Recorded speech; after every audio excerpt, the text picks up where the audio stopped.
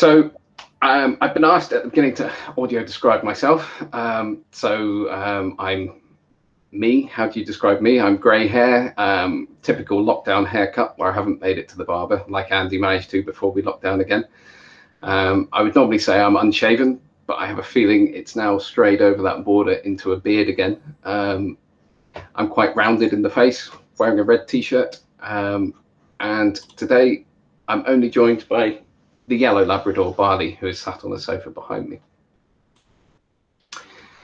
So, as I say, we're in very strange times, um, and we're going to use this very much as the first workshop that kind of lays the ground uh, for what comes next. And there's going to be obviously subsequent workshops where we can get a bit more hands-on and do some more interesting things later on. Um, so what I want to do today um, I want to talk about accessibility, but not on TV. Um, what I mean by this is, in essence, screens are all around us. Um, we have mobile phones, we have web browsers, we have head-mounted displays. All of a sudden, the accessibility, uh, the traditional approaches to accessibility, I don't think are uh, appropriate anymore, and that maybe there are new ways to do things, and we should be looking at how to do that. So in essence, what this workshop is going to be focused on is what happens when you step away from the television and move into other areas. There's also a subtitle to this as well. Um, I introduced myself very briefly yesterday um, and suggested that I was a technologist rather than an engineer. Um, and a lot of the kind of underlying elements of what I want to talk to you about in this workshop today is more about hacking and why hacking has become important in terms of research. Um, so I mentioned yesterday that I was a technologist rather than an engineer. Um, and one of the takeaways that I want people to take from today is I have a great belief in research, um, but I also believe um, that there's a great uh, area for where hacking becomes really important to us. Um, I wouldn't call myself a software engineer. I'd call myself a hacker. I, I can't write good code. I'm not very good at software engineering. I have no interest in going and sitting in a lab and becoming a software engineer. Where my passion is, is in the area of hacking things together. I know enough that I can build a demo overnight and I can put it in front of someone and that suddenly raises questions. And we can do the really interesting things simply by hacking lots of code together. Um, and once we've hacked the code together and got the ideas out to someone, we can hand it off to a software engineer that can actually do the work. But in terms of research, there is such an opportunity to um, actually get something together quickly in terms of doing user trials, asking questions, answering questions.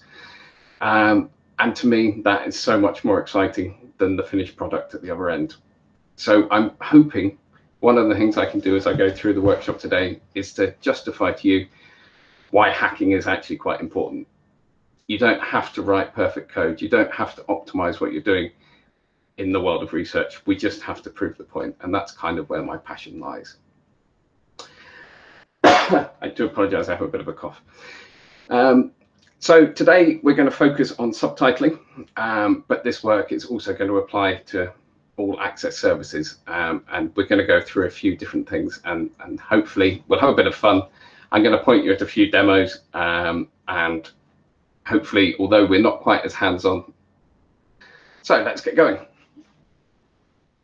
So what we're going to do, we have two kind of 90 minute blocks um, and I'm going to talk quite a lot in both of these blocks and we'll have a half an hour break in the middle. Um, but I'm also going to point you towards um, some demos really so that we can get a bit more hands-on and open a little bit of discussion around it. Uh, what I really want to do is to tell you a kind of my story about how I got into uh, immersive subtitling, um, how I got into accessibility, um, and I'm going to do that by going through a few different projects that I've worked on in the past. Um, a disclaimer before we start, I am a technologist. I am not an expert at things like user tests. I've been involved in user tests, and so I, I feel it's a good opportunity to give you my experiences as a technologist looking in um, but I don't claim to be an expert on any of these things, and I'm happy to be told that I do things wrongly, etc. After all, it's one of those worlds where it's all about discussion. um, what else was I going to say at that point? So, we're going to go through four different kind of stages with the workshop today. Um, the first part, I'm going to talk a bit about my feelings about stepping away from the television. Um, when I first entered this world, I used to work for the BBC um, before moving to Salford University. And it was at the BBC where I first got interested in accessibility. And I'm almost ashamed to say, from having been at the BBC, that while I was there, accessibility was kind of the boring topic in the corner that no one was really that interested in playing with. And um, there were a couple of colleagues that were really passionate about the accessibility. Um, and it's amazing how it kills your flow when people try and enter the room. Um, I, I, there were a few people that were particularly passionate about accessibility, and so I found it was they were asking questions that I felt could be answered relatively easily, but they didn't have the tools or skills to put them together. Um, and so I found myself while I was at BBC R&D starting to look at subtitling, and that's where I first kind of found my passion with that. Um, and so in the first section, I'm going to tell you a bit about uh, the work I was doing at the BBC and how that kind of laid the ground for moving forwards. Um, and as you'll see, there is a, a, kind of common theme throughout my work where it was a few hacks at the beginning suddenly changed a lot of people's minds and meant that I could move forwards. Um, the second component, I'm going to talk about what happens when you actually step into the video. Um, so in terms of immersive content, I don't know how many people have played with uh, head-mounted displays, uh, 360 degree video, those kind of things. But, but I'm going to use, um, you will have heard of the ImAc project by now, the Immersive Accessibility Project. I'm going to use that as a, a kind of example case study for a project that made the first few steps into accessibility in terms of 360 degrees. Um, then we're going to have a break, um, and by that point you'll have had a bit of a play with a couple of demos. Uh, and then we're going to come back and I'm going to give you my honest opinions on how I found that European project. Um, I do consider myself an early career researcher. Um, this was the first major European project that I was involved in. Um, and I, I'm honest enough to say that I probably wasn't loud enough. I didn't put my foot down enough with my own ideas and kind of got swept along with other people's ideas.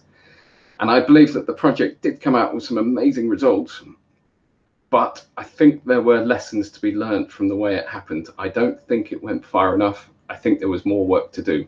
It came out with a very safe solution, as I'll show you, um, but I don't think it really exploited the opportunities that were available. and so um, I want to talk a bit about why I don't think that went far enough. Um, and that's going to lead me quite nicely into talking about um, where we are today and how we've come up with uh, a new kind of rapid prototyping uh, framework for doing things with subtitles. Um, and hopefully I will take you through the process that we went through in terms of developing that. Um, and that will give you a kind of idea of uh, a thought process from a technologist's perspective that was trying to answer some questions. Uh, and hopefully that will push us uh, towards some interesting demos and some more discussion towards the end. So if everyone's happy with that, hopefully um, that will work. So I wanted to start by talking a bit about uh, the first piece of work I did. Um, and this was work I did at the BBC. So when I joined the BBC, everyone was ranting and raving about subtitles on television. This was the only way to do it. Two lines of text, 30 characters wide. And I came to the BBC as someone that had never used subtitles, so I didn't really understand what what that really meant. Um, I was living more in a world where actually I was consuming media on a mobile phone, and to me, 30 characters wide, two lines of text didn't work on any any level. You just couldn't read it. Um, and this became even more interesting when you start moving into things like immersive environments where you can actually look around the environment we've got more space. We can position things differently. Do we really want to still have those subtitles at two lines and 30 characters wide? And I seem to remember being told very clearly at the BBC that that was the way it was done. That's what the Ofcom guidelines said. That's what the user studies had said, and that we needed to stick with that. Um, and I remember having a long discussion, basically saying, well, what happens when we've got more graphics on the screen? What happens when we're trying to move into a more exciting environment? Suddenly, we might have a signer as well as a subtitle, and that's going to cut off our 30 characters wide. Why are we still doing this? It doesn't work. There's no, it, it just doesn't work for me. Um, and why don't we think about trying to look at other things? So I kind of sat at a whiteboard and said, well, subtitles are just words. We know a start time and end time. We can probably break them into individual components. I know nothing about language. I know nothing about words at this point. We can probably interpolate timings between them because when people are saying a phrase or a sentence, they're talking at a regular pace. Why don't we block the subtitles into individual words and then put them back together again in any way we want? And I was pretty much told this is something that couldn't be done um, and wasn't of interest to anyone, and you would break all the rules. Ofcom wouldn't like it. There was no way to actually show it worked. So I basically started taking a few subtitle files apart by hand and saying, well, look, you could put them together in different ways. We could basically write an algorithm that says, I want 10 characters wide, or I want 20 characters wide. And then we can basically, we know the start times and end times of each of the words. We can put them back together in any way we want. Um, and in essence, I was proposing that we could even work directly on the uh, subtitle files. So for example, this is, I'm not expecting anyone to uh, be that familiar with subtitle formats, but this is a TTML file. Uh, and my proposal was basically that we could take a TTML file um, we could interpolate the difference between the words. We could add a few um, rules to it. So, for example, we know if there's a pause between subtitles, we can identify it because we've got the time codes. Um, or if the person speaking changes as well, we also know that so that we have a mechanism for um, knowing not to start combining subtitles of different people that are speaking. Um, and you can also do some basic um, kind of word distribution over the top that says, let's make sure we don't have orphaned words that end up at the end because we'll evenly distribute the subtitles over a phrase as far as possible. so I built a demo um, that basically said, well, actually, why don't we have a volume control um, that changes subtitle size? We know the container we want, um, we can build a, an algorithm to do this. Um, and you could, on your remote control, basically have a plus and minus button that made the subtitles bigger or smaller. Um, and obviously, as it gets bigger, you end up with less lines, but the font gets much bigger. And it comes back to a lot of what Andy was talking about yesterday in terms of personalization. I couldn't really understand right back at the beginning um, of my, my kind of journey into subtitling why we wouldn't want to do this. Surely this makes complete sense to me. Um, and I think it was a really interesting idea to play with. Um, and obviously, if you've got this kind of approach, I suggested as well that if there's a signer on screen, actually just make the subtitles smaller. If you've got an algorithm that does it, why not? And obviously, we then step away from having a world where we have a subtitle file with um, a set of 30 character wide uh, captions, and suddenly we can generate any kind of caption size that we want. What I wanted to show you very briefly was where I got to on that first night while I was at the BBC. Um, so here is a web browser. Hopefully you can see my web browser. Um, I remember very clearly that first night at the BBC um, when we were talking about this, that I was basically told, you can do this stuff on a whiteboard. It's kind of cool. We'll have to get a developer involved. Probably take weeks to get anywhere with this. We won't be able to achieve anything. No one really understands what you're talking about. So this was kind of my first step into this world. I went home that night and in about three hours built this demo. Um, it is a very crude demo. I'm going to let you have a play with it in a minute, because I think it's an interesting demo. Um, but what it does is it has a slider at the bottom. As you make the slider one way, it changes the font size one way, or if you go the other way, it changes the font size to make it smaller. Um, and I basically overnight put this demo together and brought it back to the BBC and said, well, look, this works for me. Why don't we start thinking about these kind of ideas? We can actually do some quite neat ideas um, and we can break the current format. And it was that first day that it kind of became very apparent to me that if you want to get ideas past someone, if you want to push an idea into someone's head, you need to show it to them. And quite a lot of the time, people won't get what you mean on a whiteboard, or they will, but they'll think it's not possible to do it. Um, and when you can go away overnight and build a very crude demo, um, and then come back the next day um, with something to show, it made a massive difference as to how you could kind of convince them as to whether it would work or not. Um, I'm going to pause for five minutes here, and I'm going to paste into the chat a link to that demo. Um, I think it's worth everyone having a quick go with it. Have a look at the video, watch it from the beginning to the end with the subtitles big, subtitles small. See if you think it works. Um, don't hope too much for the demo. I've basically pulled out of the archive the very first uh, attempt that I made because I think it was interesting to see where we started from. It's not neat, it doesn't work, probably won't work on every platform, but all of a sudden, I was able to sit in front of someone um, and show them what it could look like for this to work. And suddenly it, it became much more interesting. So I'll give you two minutes if you've got a web browser to have a look at that um, and see what you think.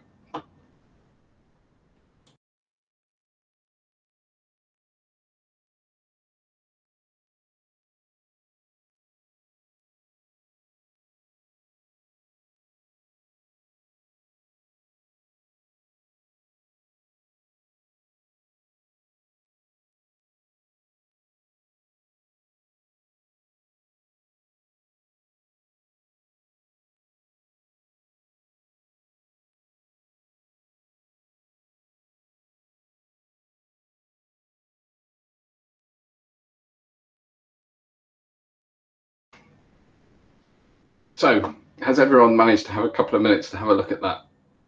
Any anyone share any first thoughts? Hello. Hello. Hi, Chris. Um, I'll share my first thoughts. Um, I, I, think it's um, it's it's great. It's a new way of presenting the the subtitles, um, as you said, uh, sometimes we are strict to the to be placed um, 40 characters per line and at the bottom of the screen. And, this is this is actually a new way of of um, bringing the subtitles to the um, to the audiences. Um, one of the things that maybe this is because of my background, because I've worked with subtitles, but the segmentation for me um, it, it comes to my mind. No? It's it's something that it um, I don't know. Maybe it's me and the audiences feel in another way. So um, uh, I don't know. For for me, the the segmentation is was something that uh, it mostly disturbed me.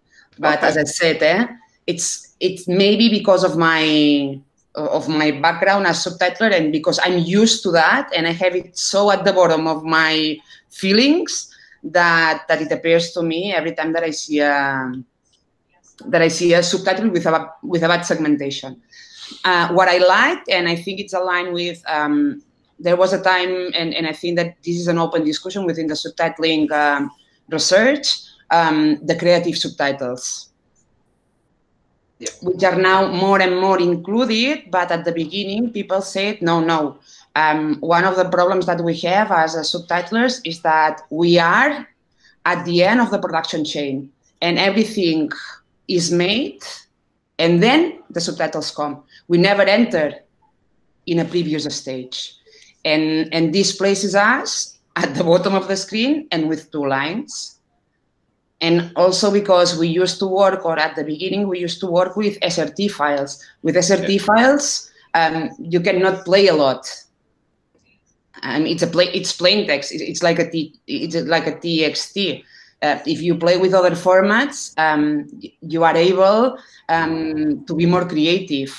Uh, actually, um, one things are subtitles, and the other things are um, when you have uh, text in a screen. So more and more series like uh, Sherlock Holmes, they are placing uh, text in a screen in a more creative way. And to me, it would be very important if subtitles could also be involved in these types of processes, or if we could be more creative in, in this type of processes. Uh, but I, I don't know what the others think. So those are my first thoughts. Eh? And great work. Thank you. Great work. Thank you very much for sharing. Um, I, I, completely agree with everything you say, in fact. Um, and part of the point of showing that demo is the point that I'm trying to suggest that thinking outside the box sometimes is an interesting thing to do. And it doesn't always work. Um, but sometimes if you can't build a demo of something, um, or you don't have a working version of something to put in front of someone, it's much harder to explain and to have a discussion around.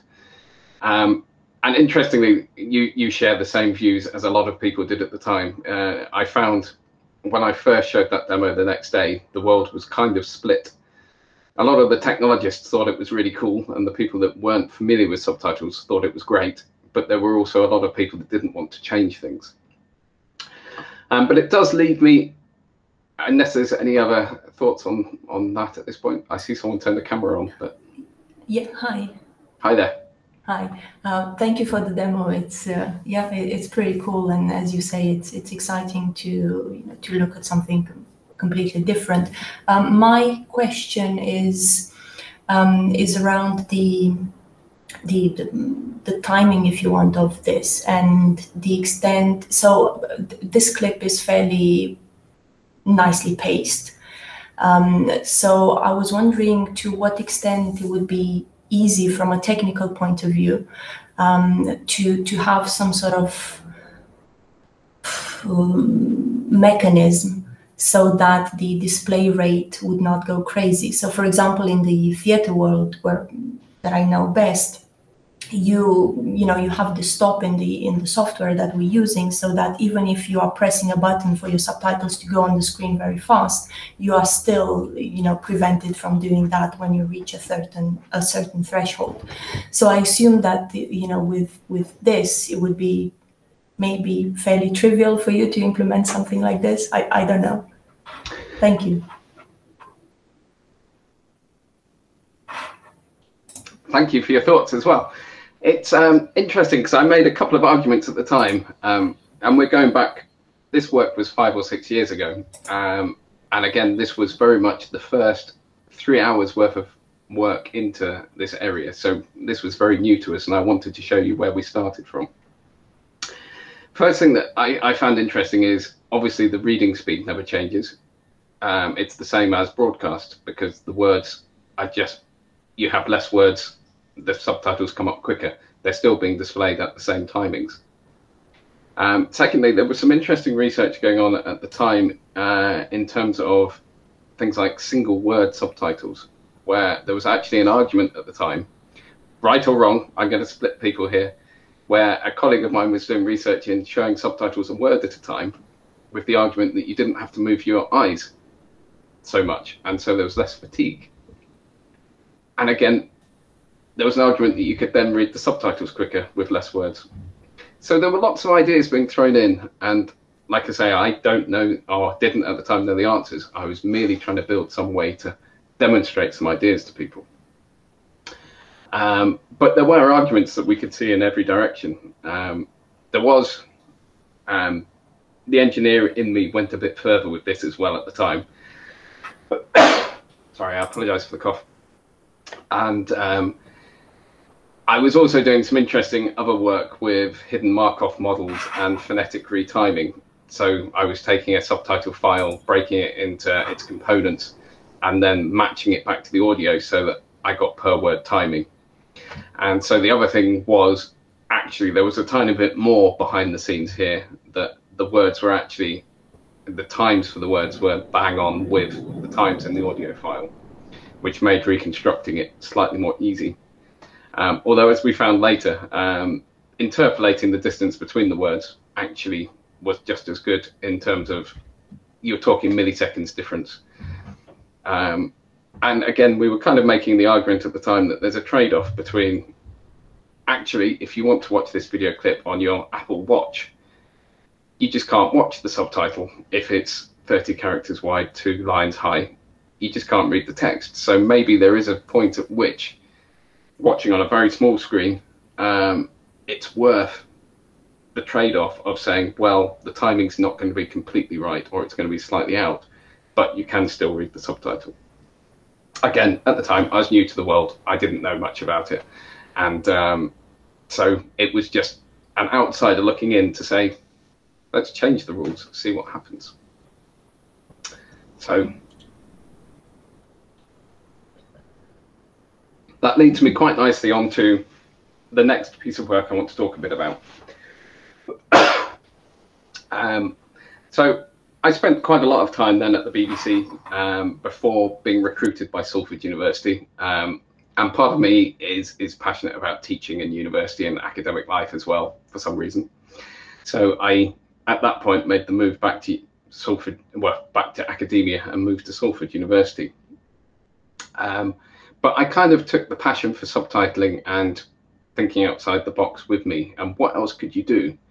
Particularly in a world now where you've got subtitles, um, but we've got displays that are all different sizes. They're all around us. We've got mobile phones. We've got uh, watches. We've got kind of laptops that we can watch um, and consume media on.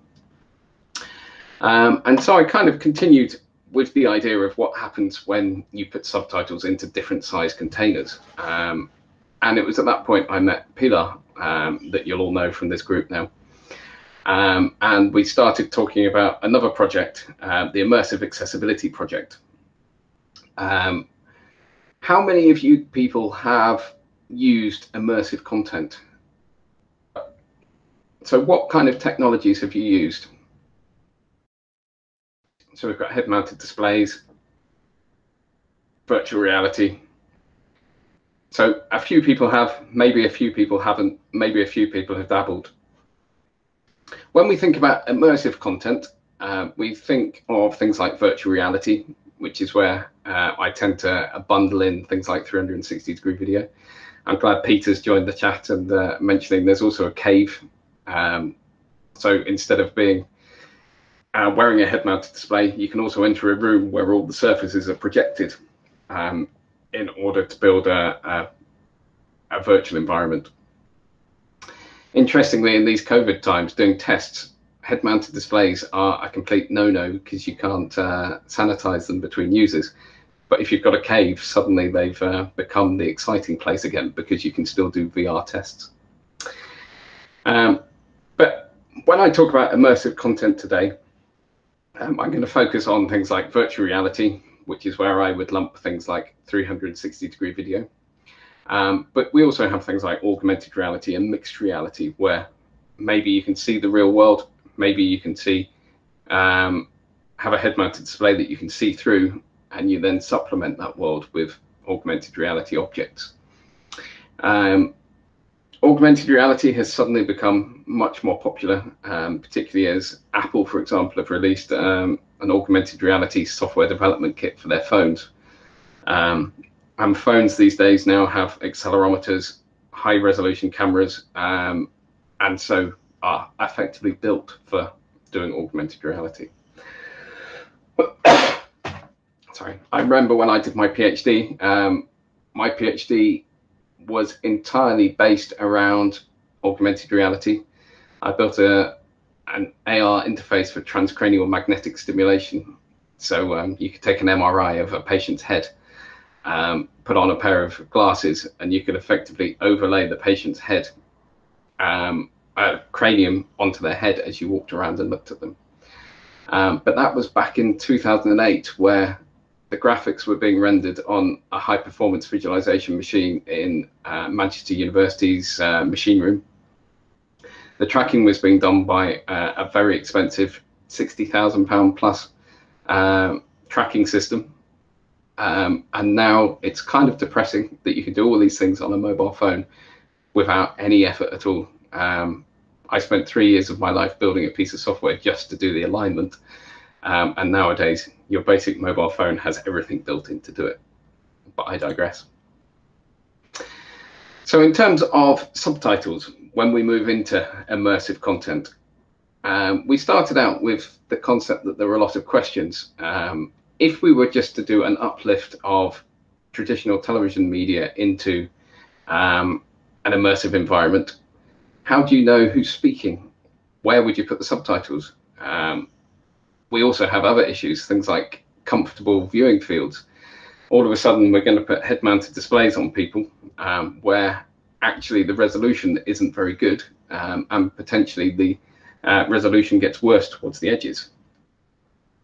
Um, and how do you even build a user interface?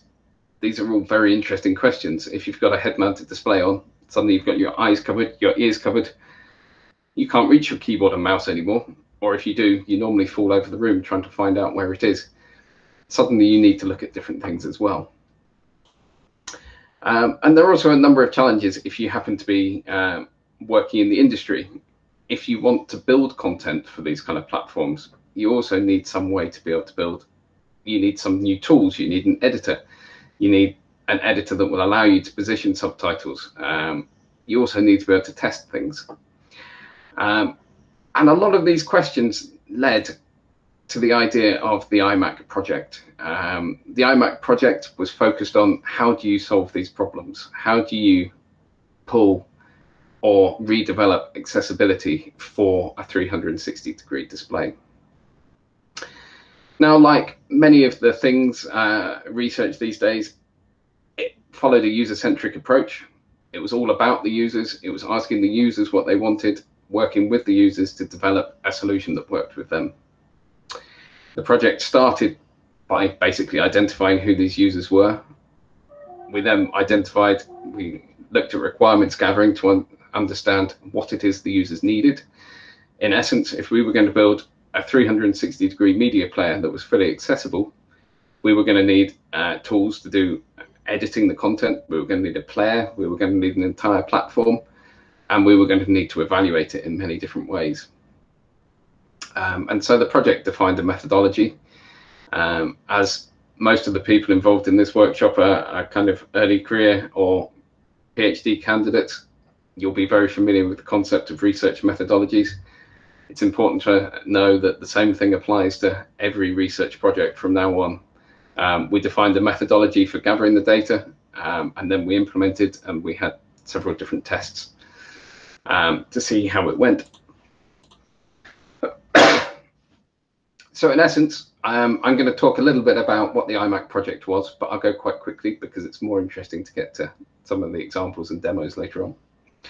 Um, but the ImAc project was a Horizon 2020 project um, with the aim of exploring how accessibility services could be efficiently integrated with the immersive media. So this meant not only were we trying to develop a, a player that had supported 360 degree video, um, but it also needed to support all of the access services. We needed to know how to bring in subtitling, audio description, sign language, and other things. Um, and I believe we all came from the same kind of soapbox that accessibility must not be considered an afterthought.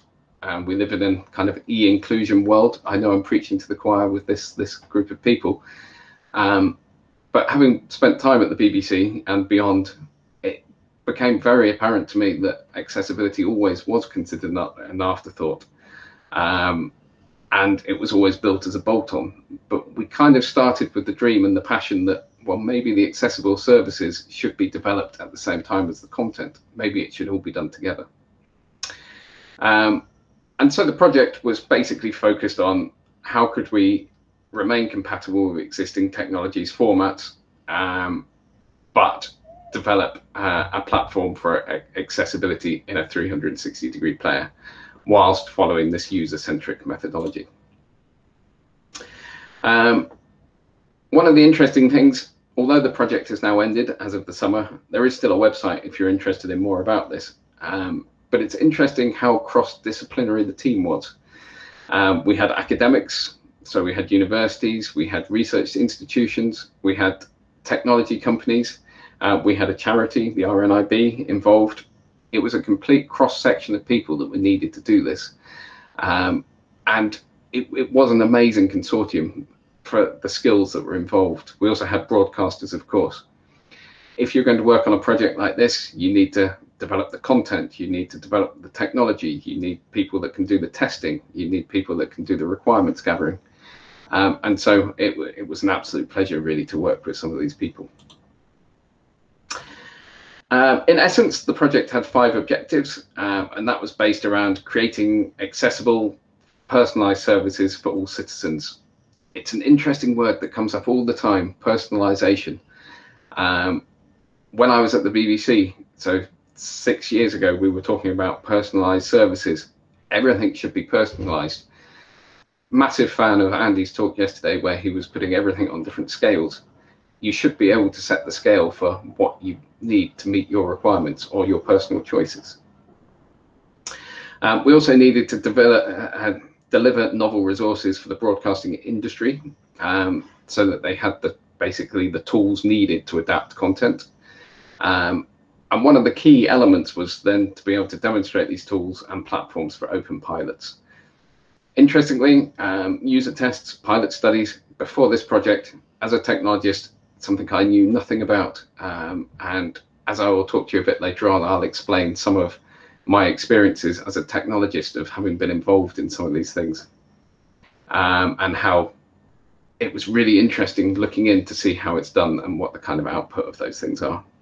Um, and of course, we then wanted to work towards standardization of accessibility and maximize impact on society by delivering something that's useful. So wanted to give a very brief primer about 360 degree video. Um, some of you have said you've used VR. Um, some of you have suggested you may have watched 360 degree videos. In essence, the exciting thing about immersive video is when you watch traditional linear television or a video, you basically have only control over time. You can basically press play and you can watch it playing through. In an immersive environment, you also have space. You can move around slightly. You can move your head and look around. You can certainly survey all around the scene. Um, and if you imagine how this works in terms of broadcast, what we're doing is in essence broadcasting still a two-dimensional video, but we tend to use a format such as equirectangular where you can then wrap that image into a 360 degree globe that allows you to build this full image. This then brings a lot of complexities. Um, different head-mounted displays give you different angles of view of that space, uh, depending on what the lens has in it. Um, and obviously you can imagine that if you want to broadcast uh, a 360 degree video where any arbitrary view within that space is still high definition, suddenly you're talking about massive file formats in order to be able to do these things. So there were a lot of complexities that were going to fall in behind this project um, and a lot of difficulties that we had to follow. But we followed a very standard methodology. Um, we went through the processes of um, requirements gathering, we built something and then we validated it. Um, and in essence, we followed a, a, diagram that looked a bit like this, where we were following a user-centered design process, which led to a series of different requirements for both professional and users, end users. Uh, and this then enabled us to direct some content production. One of the problems we really faced on the project were the fact that we had not very much content to play with, um, and we needed more content in order to be able to make it accessible it's still a headache I have today if want to build any demos actually getting content that you have the rights to distribute is quite hard. And so fortunately in the project, we were able to generate some content ourselves. Um, the requirements then also led to the technologists such as myself in the project being able to build the platform or at least define the platform specification and architecture. Uh, and this led to the development of the ImAc platform. Um, it was a fairly circular process where we built something, we did some pilots and evaluation, and then that fed back into a, a cyclic process of looking at the user requirements in order to iteratively improve it. Um, and as is standard with most um, research projects, we then had these three stages of standardization, exploitation, and dissemination at the end. If you're going to do a piece of research, it's so important to tell people about what you're doing and what comes out the other end. Um, and in essence, we built a platform um, that included everything we needed from content production uh, to what was needed for playout at the service provider to the content preparation and distribution tools and consumption tools such as a player. Um, and part of the scope of the project was to make the player as um, broad as possible. And as I mentioned previously, um, we went down the route of building everything in a web-based approach, which basically meant you could um, give someone a URL and they could load it on their phone, on their tablet, on their laptop, on their head-mounted display. There was no software to install. Um, and I'm a great believer in terms of building prototypes of easy distribution. There's nothing worse than if you want to build something and show it to someone on an iPhone when you then have to put their phone into a development mode and push them an app or release it to an app store and sell it uh, and let them download it. If you can build something and you can distribute distribute it as easily as possible, you'll go a long way. Um, I'm not going to go into too much detail unless anyone's particularly interested in the, the underlying platform.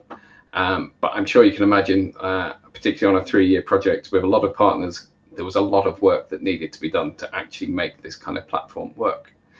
Um, coupled with the fact that um, broadcasters like to maintain control of their video, so they wanted to have um, the actual asset management in-house, um, and we had to build a cloud-based content manager that was built by a company called Anglatècnic, um, and included things like subtitle editor, audio description editor, sign language editor. Um, we then have to do a whole load of encoding, packaging, signaling to get that content out. Um, and then we need a player that supports everything from an HbbTV all the way through to a head-mounted display, PC, tablet, smartphone, etc. and the project had some great outputs. Um, we built the content manager, we built the editing tools. Uh, there's also an open source 360 degree player out there, um, which several uh, people are now using. Um, and later on, well, in a few minutes, I'm going to show you a, an example of uh, one of the broadcasters that's still using it on their website. Um, we also had some quite good uh, workshops, events, publications contributed to standards, all the kind, kind of standard stuff that comes from um, research projects. So as a research project, um, I said it started with the idea of requirements gathering, talking to users. Um, and this is one of the areas from a technologist looking in, I think, although it was an amazing process, maybe didn't produce the results that maybe we wanted for moving forwards, I say quite carefully. Um, as technologists, we went into this project with so many ideas, a bit like thinking outside the box with that previous demo of, well, we could completely change things. We could fix the subtitles in the scene. We could make them track users. We could change the location. We could change the style that they want to be. Um, and we built loads of kind of paper prototypes of things uh, in order to put them in, in front of users to find out what the users really wanted. Uh, and from there, we built an architecture, developed the workflow, um, and that's where we got to uh, in order to complete the project.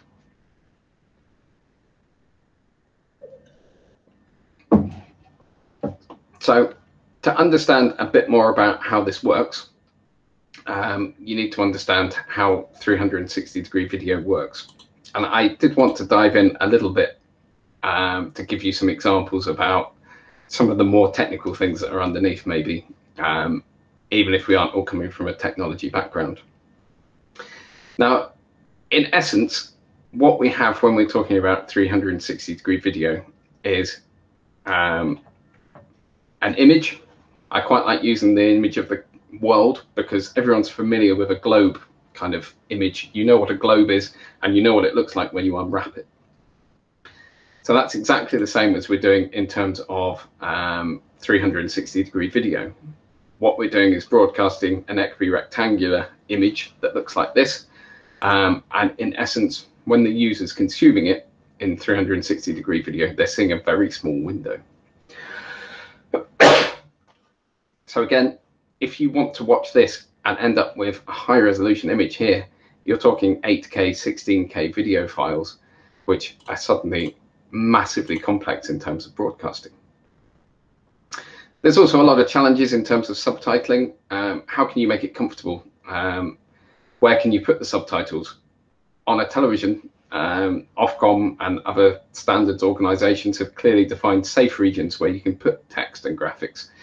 Um, no one had defined that uh, for head-mounted displays, so we had to start doing these kind of things ourselves. We also have to think about things like fonts and text sizes.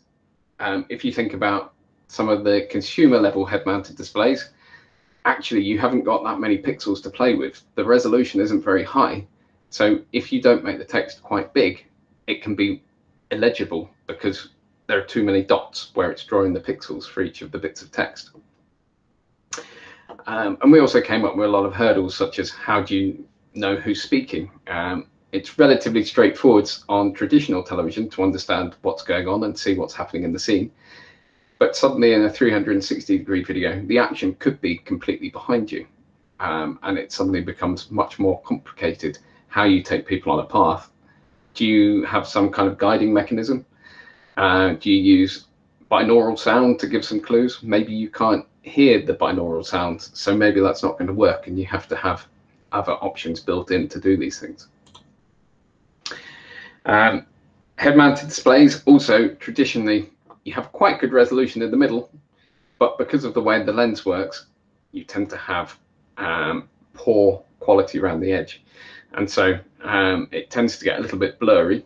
Things are getting better, but on a lot of the kind of consumer level devices, still, if you have text in the edge, you can't read it because it's blurry. Um, and this is a real problem when you want to start um, uh, rendering subtitles and text uh, or a signer, for example, into the scene. So the project prototyped a lot of ideas. Um, these were some of the early prototypes, in fact, where we put things like uh, an arrow on the subtitle. Maybe in this scene, the problem here is this isn't the person speaking, but if you have a subtitle in view here, you may assume that that is the person that relates to that subtitle. And so we played with ideas such as you could put an arrow in there that actually suggests the person is to the left and you need to look to the left. One of the exciting things about 360 degree video for me is the fact that quite often I'm not interested in the main action. I'm more interested in what is happening behind me. So we don't want to force people to go down a route in terms of understanding the 360 degree video. We actually want to give them the choice but alert them in some way to tell them that the, the action is happening somewhere else. Um, so we also built um, the whole kind of workflow. Uh, again, I'm focusing on subtitling, but we had a different workflow for audio description, sign language, everything else that sat on or sat on top. Um, but we had some kind of editor. We had a content manager that sits in the middle uh, and allowed us to push that out to our immersive player. Uh, and there was a, another whole project in there as well about packaging and distribution. Like I say, these video files are massive. And so if you don't look at some kind of adaptive streaming, um, in the end, we used a, a, technology called Dash, which basically starts by sending small chunks of file in low resolution uh, in order to understand what the kind of network performance is. And once it knows how the network is performing, um, it allows you to send higher resolution images until it finds how much your bandwidth can support really. Um, so we did a lot of requirements gathering at, at, the beginning. So we worked out what we needed in terms of building an editor. Um, we talked about whether or not professional users would be able to edit subtitles in a normal mode or a VR mode, although we never really uh, got that far with the kind of VR mode because it turned out people didn't like working uh, in virtual reality. Um, and we also had um, a whole list of things that they needed, um, but I'm not going to bore you too much with it today. We also had a content manager. we needed uh, to be able to do things like assign assets, different IDs within the data set. We needed some management system for doing it. Um, obviously, all the partners were working at different sites, different European countries.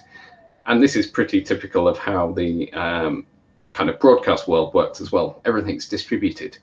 So we needed, for example, a platform where the content producers could log in and upload their video. They could then assign it to a subtitler, for example, like they would in the real world. Subtitlers quite often work from home, so they would then need to be able to connect to this system as well and be able to access things. We also built long lists of requirements for things like distribution. How do you encode the content? Um, again, I assumed it at the beginning of the project that it was as simple as just putting uh, a video file on a web server. No, it's much more complicated uh, in terms of getting the data synchronized um, and encoding it into appropriate formats that will play on your player. The most interesting thing to us, though, of course, was the player itself.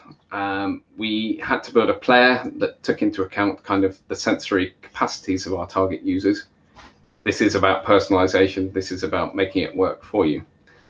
Um, if, for example, you're a user that relies on the access services, there's a good chance that you're not going to be able to manage to use traditional menus, um, particularly, as I say, when we uh, kind of obscure the real world from you by putting a head-mounted display on you. Um, and you basically have no longer access to the kind of tools that you need. So how do you do these things? How do you build a user interface that's going to work for low vision, um, for example? Um, so there were initial focus group tests um, where we tested different presentation modes, personalization options. Um, and it was identified that a lot of the traditional things were what was desirable in terms of things like colors to distinguish between different users, uh, in the same way that a broadcaster's guidelines currently say. Um, although there was at the time uh, consideration for things like different color palettes and a bit of customization. Um, we also talked a bit about uh, in the requirements the maximum amount of text for one subtitle. And one of the things that really uh, was frustrating at the time um, was the fact that something that came out of our, our first kind of discussions with users was that they wanted us to uh, follow the traditional behavior where we had 37 characters per line and two lines per subtitle, um, which as I'm sure you can imagine, coming from the kind of responsive idea that I had in the back of my head, was quite a frustrating uh, approach as to where it was going to go. Um, because I wanted to do things differently and have uh, different size subtitles and move things around and, and fix things in the scene and those kind of things. Um, it was also quite important as part of the project to look at things like um, the player's requirements for what happens when you're using VR glasses. Um, there was no kind of standardization that says this is what field of view you're going to get from different manufacturers. Um, there's no standardization that currently says um, this is where it's safe to put graphics because then the, the image drops off towards the edges. Um, and so we had to do a lot of studies ourselves to try and work out where the safe zones were in terms of a head-mounted display. And we also, um, early in the project, talked about things like adding arrows, um, putting the subtitle to a side, um, adding things like a compass that direct people where to go. And this was the first kind of ideas that we were putting in front of users as paper prototypes, um, in essence saying, what do you think you would like? Um, and at the time, we didn't have working prototypes of these things. Um, but it was settled in the project that the users seem to like the idea of having an arrow and they seem to like the idea of having a compass, which later turned into a, a radar display. And we'll see examples of those later. It was also discussed the idea that there should be some kind of notification for sound. Um, and again, throughout the project, we tried various different experiments with symbolizing sounds in different ways using different characters. But one of the interesting things was that it wasn't particularly adopted and people didn't like it very much. Um, and it will come back to how I'm going to summarize in a minute, where a lot of the users liked what exists for traditional television um, and didn't really like us playing with subtitles and doing new things. Um, we were keen in there to get a lot of personalization. Um, we wanted to be able to change font sizes, change how the subtitles are displayed. Should it be on a transparent box? Should there be an outline? Um, where do we put the subtitles? Um, could we, for example, scale the video? Doesn't work in a head-mounted display, but potentially moving the subtitles off of that as well may be an option. Um, so where I fell into the project, um, where was once we had a list of requirements, I was heavily focused in the development of the architecture. Um, and again, this is fairly boring and dry stuff, so I'm not going to dwell for too long. Um, but this is what the final architecture looked like, um, where we had a broadcaster who was able to upload content uh, to the content manager. Um, and we also had the accessibility content producers that were building uh, subtitles, audio description, sign language um, files, which were then being put into a separate data store for encoding and then sent to our content manager. But in essence, all the content was then published to a web server where it could be accessed from a player, whether that was on a head-mounted display, uh, on a tablet, on um, your mobile phone, whatever the platform was, you had access to do that. Now, I wasn't going to talk too much about technologies at this point, um, but one of the interesting ones that we settled on was something called MPEG Dash. Um, and that was a technology that was designed for adaptive network streaming. And I, I think this is a great concept um, because if you haven't come across MPEG Dash, when you use uh, many of the online video uh, producing tools, you'll find that they use something similar. Um, what it does is you basically have an encoding step where you cut your video file, your original video file, into hundreds of smaller chunks. And then for each of those chunks, you lower the resolution slowly so the file sizes get smaller. Um, and when you connect your television to an MPEG dash stream, for example, it will send you the low resolution file to begin with, and then it will assess how your network connection has handled that. Um, and once um, it's ascertained that you can receive that data at that rate, it will give you the next resolution up, which is the next file size up, and slowly get bigger until it decides that your network capabilities can't do that anymore. And you may have noticed um, when watching television at home, for example, if you connect to Netflix and connect to a, a, video stream, it starts slightly pixelated and all of a sudden it jumps to a high resolution. And this is a great, great technology because it basically allows you to avoid what used to be that buffering step. Um, and so when you're handling things like high resolution 360 degree video files, this is a great way to go. so the uh, ImAc project was based on MPEG Dash. Um, the only real limitation was iOS at the time doesn't support MPEG Dash, um, but there are alternatives and things like HLS, um, which I will show you um, later on when we talk about what we're currently doing. Um, but it's it's just cool to understand a little bit about some of the technologies behind it. Um, there's also a few complexities in terms of things like the 360 degree video format. Um, when we started this work, there were two main popular formats. Um, one called equirectangular and one called cube map. So the equirectangular format is the one we've talked about before, where you effectively have a single image that gets wrapped onto a globe. Um, and I'm sure you can imagine if you've got an image wrapped onto a globe, you're going to lose some resolution in the middle because the pixels have to stretch a little bit further. Uh, and at the top, you have a lot more pixels to take make up the top of the image. So in essence, this potentially isn't a very efficient way of doing things because you're going to have a mixture of resolutions throughout the image. Um, and as I say, in the middle, you're going to have a lower resolution than you are at the top.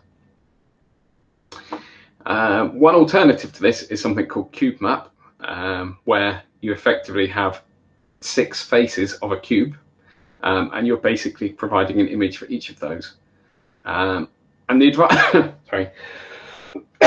the advantage of cube map is that you know you're always going to have maximum resolution and the same resolution throughout, except you're also wasting a lot of the image because you're only using this cross in the middle and you're broadcasting because we're using traditional approaches, we're sending out uh, an image that uses uh, the, the full image resolution. You're basically sending out a lot of dead pixels that are no use to us at all.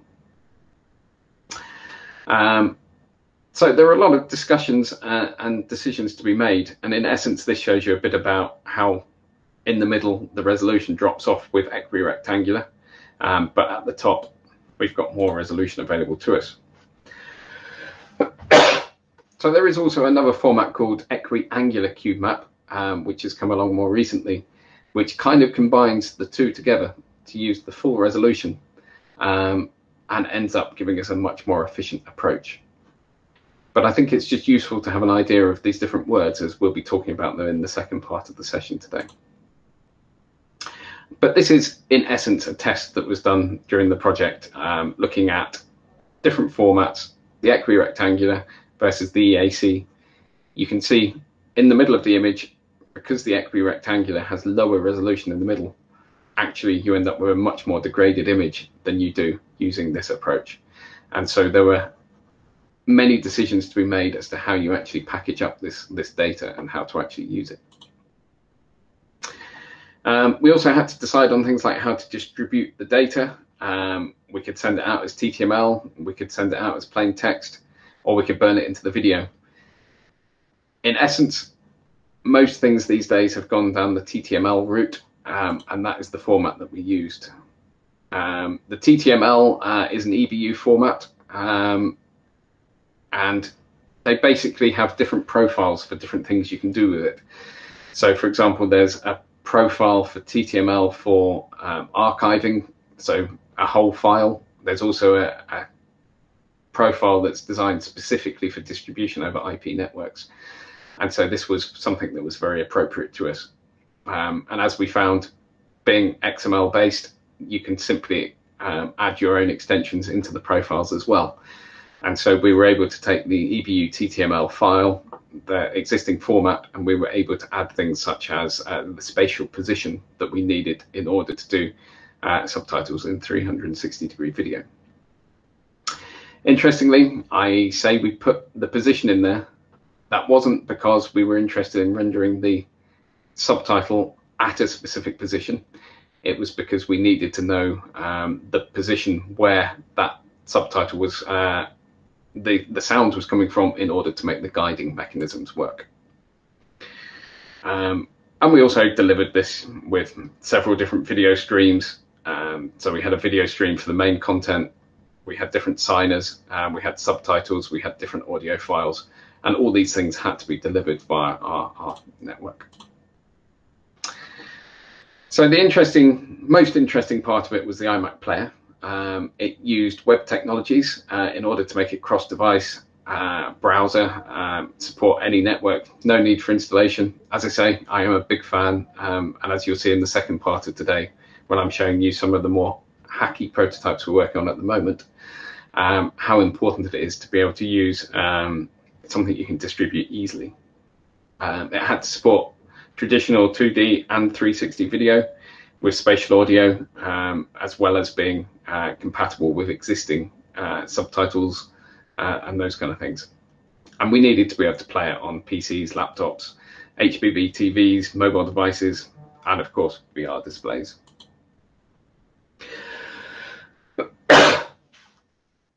So we also had a number of, um, you can see I've stolen that slide from somewhere else, and I didn't mean to paste it in, I meant to remove it. Um, so the user interface was an important component here. Um, we wanted a user interface that worked across languages um, and across abilities. So one of the things that we found interesting at the time was that there was a, a project out there that was focused on building a set of standardized uh, icons that would represent the different services. Uh, and this was a really interesting way of doing things because it's language agnostic. Um, you can understand that this symbol means subtitles, um, for example. and the other nice thing about these symbols is you can actually type them on a keyboard because they actually use existing characters. So we were keen to build something that anyone could use and it was clear where the, the different services were and how to access them. Um, we built a fairly traditional menu system, um, which gave access to everything you needed to do um, in terms of changing subtitle settings, moving their size, where they were, what the position was, um, how to enable and disable services as well. Um, and in a 360 degree player, this is kind of what it looked like. It's just a menu that floated in front of you. You had the traditional access service symbols that enabled you to turn them on and off, as well as being able to press play. Now, one of the initial problems we found were that a lot of the head-mounted displays don't have uh, a keyboard or a mouse or any kind of mechanism to interact with them. And so quite a few of them have a single button press rather than anything else. And so if you want to open the menu, you suddenly have to find ways to be able to do this without with only a single button press. Um, and so in the player, if you don't have any kind of tool or uh, anything to interact with the player, um, you can simply look at the ground for a few seconds and a menu pops up. Um, and then you can use your direction of gaze to look at the different components in the menu and then press your single click button to select them. Um, if you have the more advanced uh, tools where you actually have um, devices that you can interact with the environment, you can obviously then use the menu to press those buttons. Um, we also implemented the ideas. So we had the radar, for example, which gave an interesting indication of where you were and a spatial indication of where you were. Uh, and as a technologist, I obviously really like this idea because it was clever. Um, the idea is it shows where you were looking in the scene, but it also puts into the scene a little marker that says this is where the action's happening. Um, and we also had a number of uh, approaches with things like arrows as well that you could put in there uh, and it was also extended to do things like multi-screen. Uh, one of the partners in the project was particularly keen about the fact you should be able to consume the same content in sync with different people. Um, one of the problems you come across with head-mounted displays um, is it becomes incredibly isolating. If you want to watch, for example, a film together, um, you can't really if you're watching a 360 degree film because you're kind of in your own world and completely isolated. Um, and so being able to have the same content in sync on different displays um, was a potential first step in terms of solving this. Um, I'm not going to go through far uh, too much in terms of the production tools for the sake of time, um, but Anglatècnic, one of the partners in the project, managed to build for us um, a set of uh, editing tools. These again were built into the content manager um, so you could log in on a web page, uh, access their subtitle editor, for example. Um, and it was built very much to feel like a traditional subtitle editor. Um, so if you're familiar with editing subtitles, um, this should look very familiar to you. It has all the traditional uh, subtitle list. It has the ability to edit each caption. Um, you can change the character, you can change the region, um, you can see the sound wave in order to help you work out where those begin and end. Um, and you have some basic formatting in there as well. The subtle difference here, however, is the fact that you can also set an angle. So you can set the location of the speaker within the subtitle file. Um, and this basically allowed us to then create TTML files that had an extension built in that allowed us to uh, store the position of where the sound source was coming from. Um, so, oh, so on the slides, I will share these slides later with you. Um, there is a video on this link um, that will take you to a kind of promotional video that shows you through some more of the demos of um, the ImAc player itself. So in these 10 minutes that lead us up to the break, um, I'm going to point you at an existing version of the ImAc player um, and give you a few minutes um, and into the break to have a, a quick play and have a look. Um, unfortunately, the version of the ImAc player that I was hoping to point you at today doesn't seem to be running. Um, so I've put onto the slide, um, and I'll put it into chat as well, a link to one of the partners of the project who are called RBB, um, who um, are still using the ImAc player um, on their website, and there's some demos on there that are worth going and having a play with. So when we pause in a minute to go to the break, if you have a look on this web page, hopefully you can see uh, my web browser that's being shared. You can select one of these videos and it will fire up the ImAc player for you. Um, you have to wait a few minutes for the initial menu to disappear. Um, and then the video will start to play. What you'll find is that firstly, it gives you a 360 degree video. So you can use your mouse uh, on your computer to actually look around the content. If you look down at the ground, or if you click in the video, you'll find that the menu pops up. Um, and you can go and have a, a, brief explore of the menu and have a look around. Um, one tip, everything on this uh, RBB site is currently German, so it's German files with German subtitles. Um, but if you click on the settings menu, you'll find that there's a, a menu sprache, I can't pronounce German, that lets you turn the menu back to English and have a look around and play the video.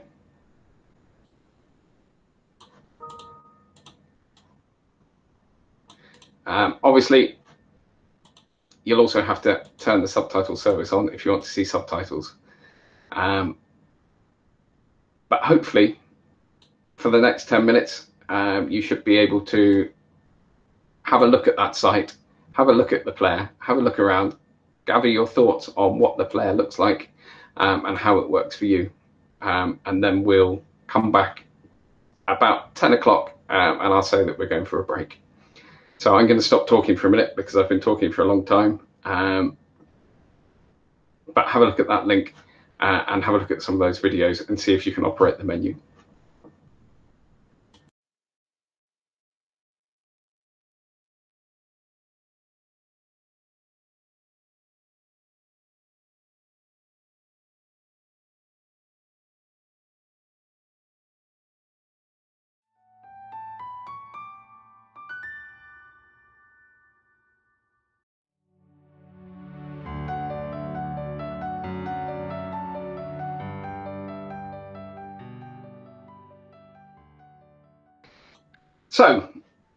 Really, in that first section, I hope I laid a lot of the groundwork as to where we got to kind of present day.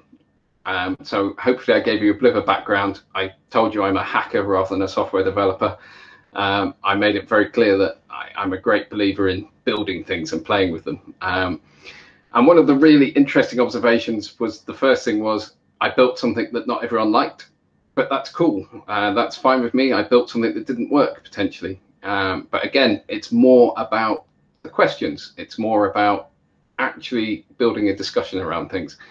And I'm a great believer in the fact that if you don't try and disrupt the industry, if you don't say, well, let's throw away all the rules and do something completely different, you might hate what we're going to do that's completely different. But actually, it there might be some questions that come out of it and something interesting that comes out too. Um, so this is where I'm potentially going to start upsetting people because I'm going to give my own personal observations um, as to what came out of the ImAc project from my perspective. Um, and don't get me wrong, I think the ImAc project was amazingly successful. Um, but I also appreciate, firstly, I was quite quiet and timid because I was surrounded by some very impressive people and trying to get my own opinions across was probably relatively uh, difficult. Um, but also, we ended up with something that was relatively safe. Um, and when I sat down to kind of think about maybe my own personal thoughts on this, as I say, my own personal thoughts, it, it's not anything official. I came out with three kind of thing takeaways that I thought were important in terms of uh, moving this forward. The first real thing that I came across and have done subsequently is the fact that with user tests, from my perspective, unless you're actually putting a working product in front of someone, the results are relatively limited. Stop it. Um, and if you're demonstrating something on paper if you're explaining a, a concept to someone, it can often lead to confusion because maybe they don't quite understand what you mean or they can't play with it. So quite often in, in our world, prototyping things on paper is a great way to go because it's really quick, it's really easy. Um, you can draw things on a whiteboard. But unless you can actually show someone a working product in this area, they potentially don't understand what you mean. Um, and this is kind of where I found an interesting niche that I love working in. The idea that if you can knock out quick prototypes, you can actually save yourselves a lot of work. The expression is something along the lines of a picture says a thousand words. If you've got a working prototype to show to someone or let them play with, or you can modify it to uh, take in their ideas very quickly, um, you can often come out with much better results because people understand what you're talking about. Um, and one of the observations I found since the ImAc project, um, we talked um, in a few of the community groups I'm involved in, we talked quite a lot about, well, what's the next steps? And we did some surveys and we tried to understand a lot about, um, well, the different approaches we could have for immersive subtitling. And every time they put that list of ideas in front of people, because it was a list of text, people didn't really understand what it meant. And potentially it just led to users saying, well, what we've got already works. So let's stay with that. There's no need to actually move this forwards or do anything different. Um, and I'm the first to put my hands up at this point and say, actually, what they've got at the moment might be the right solution. However, as a technologist and a hacker, I'm keen to try other things just to see, just to see if we can get their interest and to try different things. The other thing I learned was when you're suddenly taking a, a cohort of users and moving them into an immersive environment and asking them to evaluate a project uh, product, it's a massive learning step. Some of these people have never used a head-mounted display or an immersive environment. Sometimes they're a bit scared. Sometimes they don't know what's going on. Actually, there's a big learning step. And the only way you're going to make this work is by letting them get used to the technology first. Um, it would be completely irresponsible to do some of these tests with users that are familiar with head-mounted displays because you would get the young gamers, you'd get the people that were familiar with the technology, um, but you potentially wouldn't get the people that are in this new target audience that we're trying to adapt new technology for. Um, and so if you're not able in some way to build something that they can play with for some time and actually get used to and familiar with, um, they won't be able to actually give you an objective opinion about it. They'll be more interested in the technology um, and less interested in thinking about new ideas with the technology. The other thing I took away from uh, the ImAc project is the fact that content is important. Um, quite often we were doing tests with content that potentially wasn't relevant to people or interesting to people. Um, again, it kind of fits back to the learning step um, where if they're not going to get immersed in the content, if it's not a television program they're really interested in, if it has no relevance to them, suddenly they lose interest and they're no longer engaged with the material in the same way. Um, and one of the biggest uh, complexities I found with working with 360 degree video is unless you have a big uh, broadcast house behind you that can produce content, actually there's not much free to use content out there that you can get your hands on that is interesting and engaging and will work with many different audiences. Um, and so I have a belief after the ImAc project, when we started surveying other ideas and what we could do, because we had no mechanism to be able to basically say, here's a working product, go and try it. Here's a working product you can try in your own home. So you've got plenty of time to go and play with it and learn it and get used to the technology and here's a product with something that's actually interesting to you, so you're going to engage with it. All we seemed to get was the idea that actually what works at the moment is fine. Let's not worry about trying to do anything new. And I think that that is potentially a hurdle. Um, and as I say, I keep coming back to my usual disclaimer of actually maybe what everyone's got at the moment is perfect. But unless we can get people willing to try new ideas, potentially we're not going to find if there was something better. And they might try the new ideas and we might throw everything at them and they come back to what we've got at the moment anyway, which is absolutely fine too. So this led me on a bit of a journey, really. So following the ImAc project, I um, got involved with Christopher Patnoe from Google, who spoke yesterday, uh, and I spoke quite highly of him to introduce him. He's a very good friend now, and, and one of the best advocates of this work um, that I think there is. And if you're at all interested in immersive captioning, um, or any kind of accessibility in an immersive environment, he's a great person to know. So a couple of years ago, he started a W3C community group focused on immersive captions. Um, and it was about the same time I'd met him and so got involved at the same time. Um, and we've been working together quite heavily to bring this group forwards and, and discuss new ideas. Um, the goal of the group is effectively to determine and publish best practices for access, activation, display settings for captions, etc., etc in terms of augmented reality, virtual reality games. Um, and as he said in his talk yesterday, we started at the beginning where we could completely control the environment by looking at VR and 360 degree video, with the hope that when you've got some of those ideas in place, we should be able to then extrapolate them forwards onto actual virtual reality, augmented reality, and games and things like that as well. um, and so this is a great group to get involved in, and this is um, an area that I, I'm working quite heavily. And if you are at all interested, do drop me an email, and I will connect you up with Christopher and come along to our meetings. Um, as I say, they're one of the most fun meetings of the week. Uh, I really enjoy engaging with the, the community in this way. But one of the problems they hit is the problems that we hit everywhere. So we formed this group and we said, well, the ImAc project has done some great stuff. There are other projects out there that have also done some great things. Let's do a survey and find out what other ideas we could implement. We think potentially we've missed some tricks here. We think potentially there's scope to do creative captioning or fixed captions in the scene or display the captions differently. Um, and so they set off on a journey where they, they basically did a full survey. Um, and that survey basically looked through all the literature, looked at all the other projects, um, and came up with a few new ideas as well. Um, and so they talked about things like, well, we could have subtitles or captions that are fixed in the scene but locked in vertically.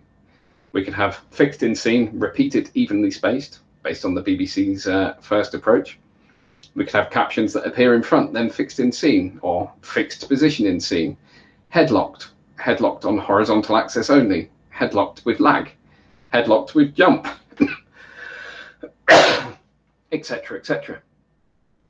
And the group put together this list and they sent this list out to all its members and beyond and basically asked people to rank the ideas from 1 to 10 uh, as to which they preferred and which they didn't. And the real problem from my perspective here is what does it actually mean? I, I struggle I find it hard enough to try and think if someone sent me a piece of text saying a subtitle fixed in scene but locked in vertical. I can't even imagine what that would mean, let alone rank it as yes, that's how I want to see my captions in future. Um, and how does that actually differ from fixed in scene or what is headlocked, etc. What does it all mean? And so we came to the point where we ran this survey, we asked for feedback, and um, we had an overriding winning was uh, the concept of what we've already got at the moment. There's no need to change it. Let's have two lines, 30 characters wide, and let's put it in the bottom of the display.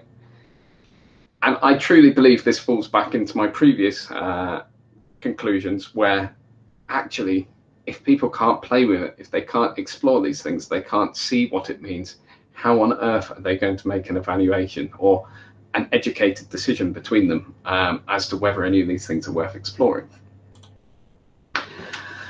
so this brings me back to the idea of rapid prototyping. Uh, and as a technologist, great believer in rapid prototyping or hacking as I normally refer to it. Um, this comes back to the whole kind of question of what do we think we want um, and how do we even know without trying it out to see how it works. And so since getting involved in the community group, Um, I've been involved in three rapid development cycles or hacking cycles. I call it hacking because the idea was you could basically work overnight, you could put a demo together, and the next morning you can put it in front of someone. And people uh, are so impressed normally when you put something in front of them that quickly. Um, and it also demonstrates everything that they're trying to understand. And suddenly it makes it clear to them what you mean, and you can contrast and compare things. I think this is an utterly important tool in terms of research, um, particularly in the early stages of research where you're just idea gathering. Um, and I tend to refer to it as hacking because it's not good quality code. It's not well written. It doesn't work very well, but it works well enough to demonstrate the idea of what you need, and you can do it very quickly. Uh, and I come back to my my usual idea that as a researcher, I hack things together. I know a lot of technologies, but I don't know them particularly well. I don't know the best ways to build things, and I'm happy to admit that because I don't ever want to turn into a software developer. I'm quite happy to be the guy that can build really cool demos and write a specification for something and then hand it on to a development team that can build a proper version. So I'm going to take you through the kind of rapid development cycles that we followed. And as I say, none of these examples are going to be well written. They all try to do too much. They're not optimized. They try to do everything at once. Um, and that's not good for a product but in terms of allowing people to see what's going on, it is pretty good. Um, and as Christopher Patnoe mentioned yesterday, he uh, drew a reference to the work, and he thinks it's really neat, simply because if he wanted to build something at Google, it would take months of development and getting a team in place to do it. Whereas a hacker on their own uh, can overnight throw something together, and suddenly you've got something in your hands to play with. And, and that's what excites me about research. So the first hack came along based on that list. I basically took that list from the survey and said, well, I don't really understand what it means. I'm going to build something that shows what I think it might mean, because then I can throw it back at the group and say, is this what you meant or not? Uh, and in essence, um, I built this demo and I built it overnight. It actually still exists if anyone does want to play with it, but I'm not suggesting for one minute that anyone should um, because it's so badly written, you'll find your computer grinding to a halt very quickly. but in essence, all it did was it gave a 360 degree video and environment. Um, it gave a set of captions in there. There were three captions that randomly cycled. Um, and then it gave exactly the same list um, as there was before. I can probably run it actually. If I go to here. So it gave exactly the same list as before, where you could say, I want the subtitle fixed in scene.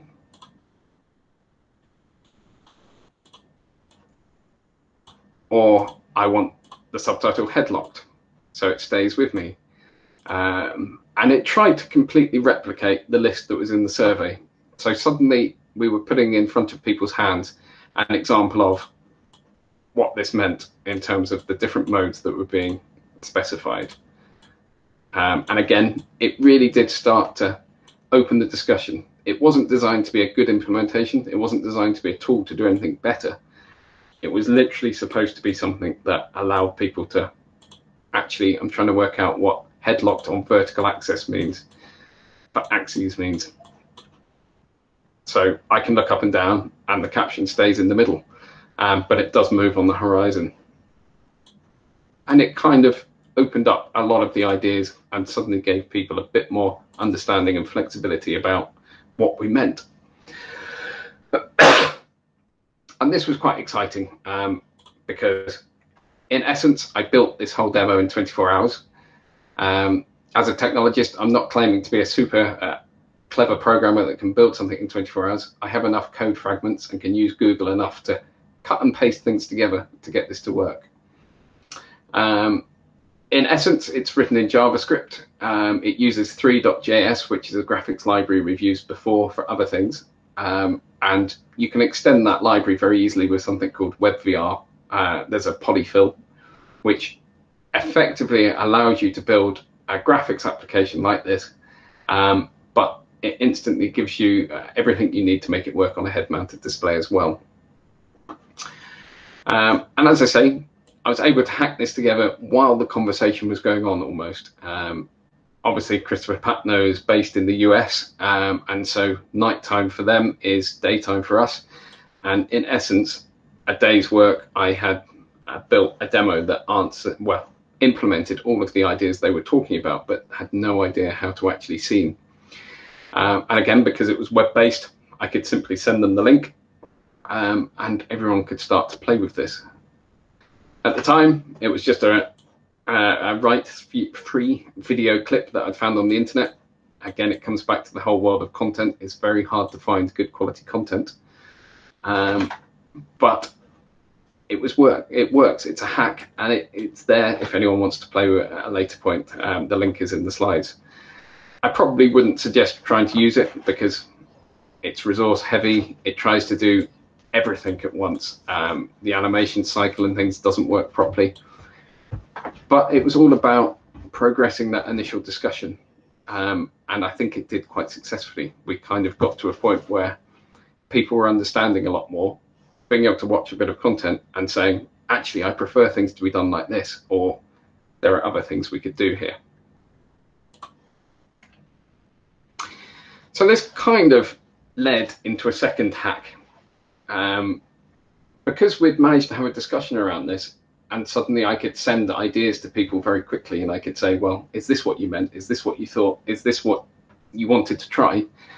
Um, the project evolved a bit further, um, and we built a, a second version, which was more based around showing how captions could work in a 360 degree environment.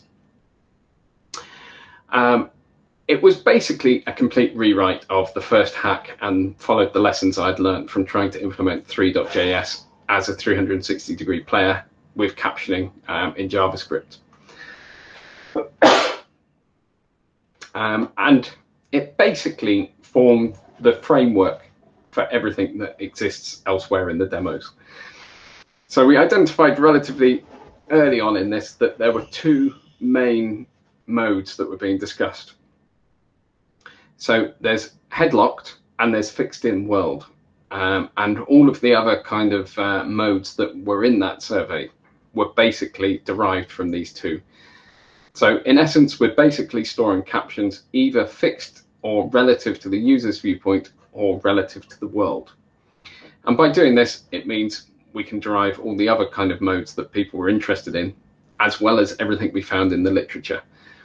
So throughout everything we're doing, we're not trying to say we know the answers. We're trying to say, well, we can implement all the ideas that we've come across in one place, and that will allow us to contrast them, compare them, adapt them, see how they work for us, and see what else we can do and how we can make those interesting. The sorry, do excuse me. The basic premise uh, is around every time you have a caption, you need some kind of information about where in the world it is.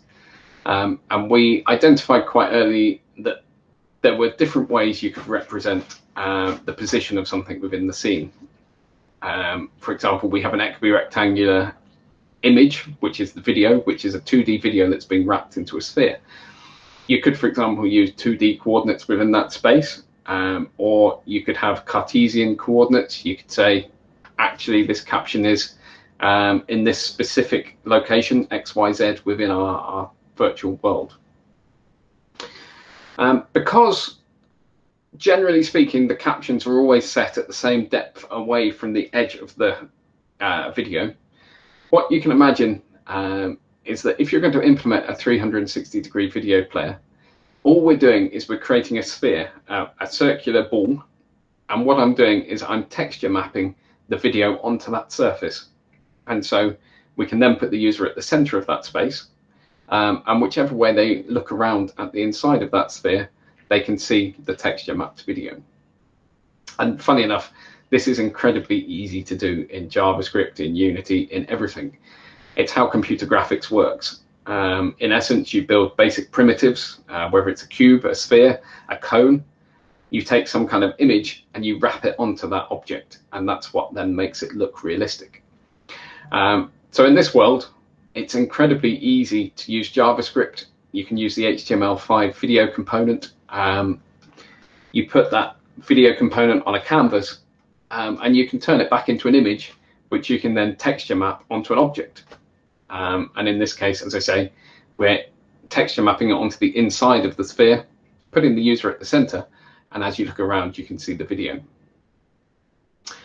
Uh, what that does mean is if you're at the center of the video, the uh, distance to the video is constant, whichever way you look.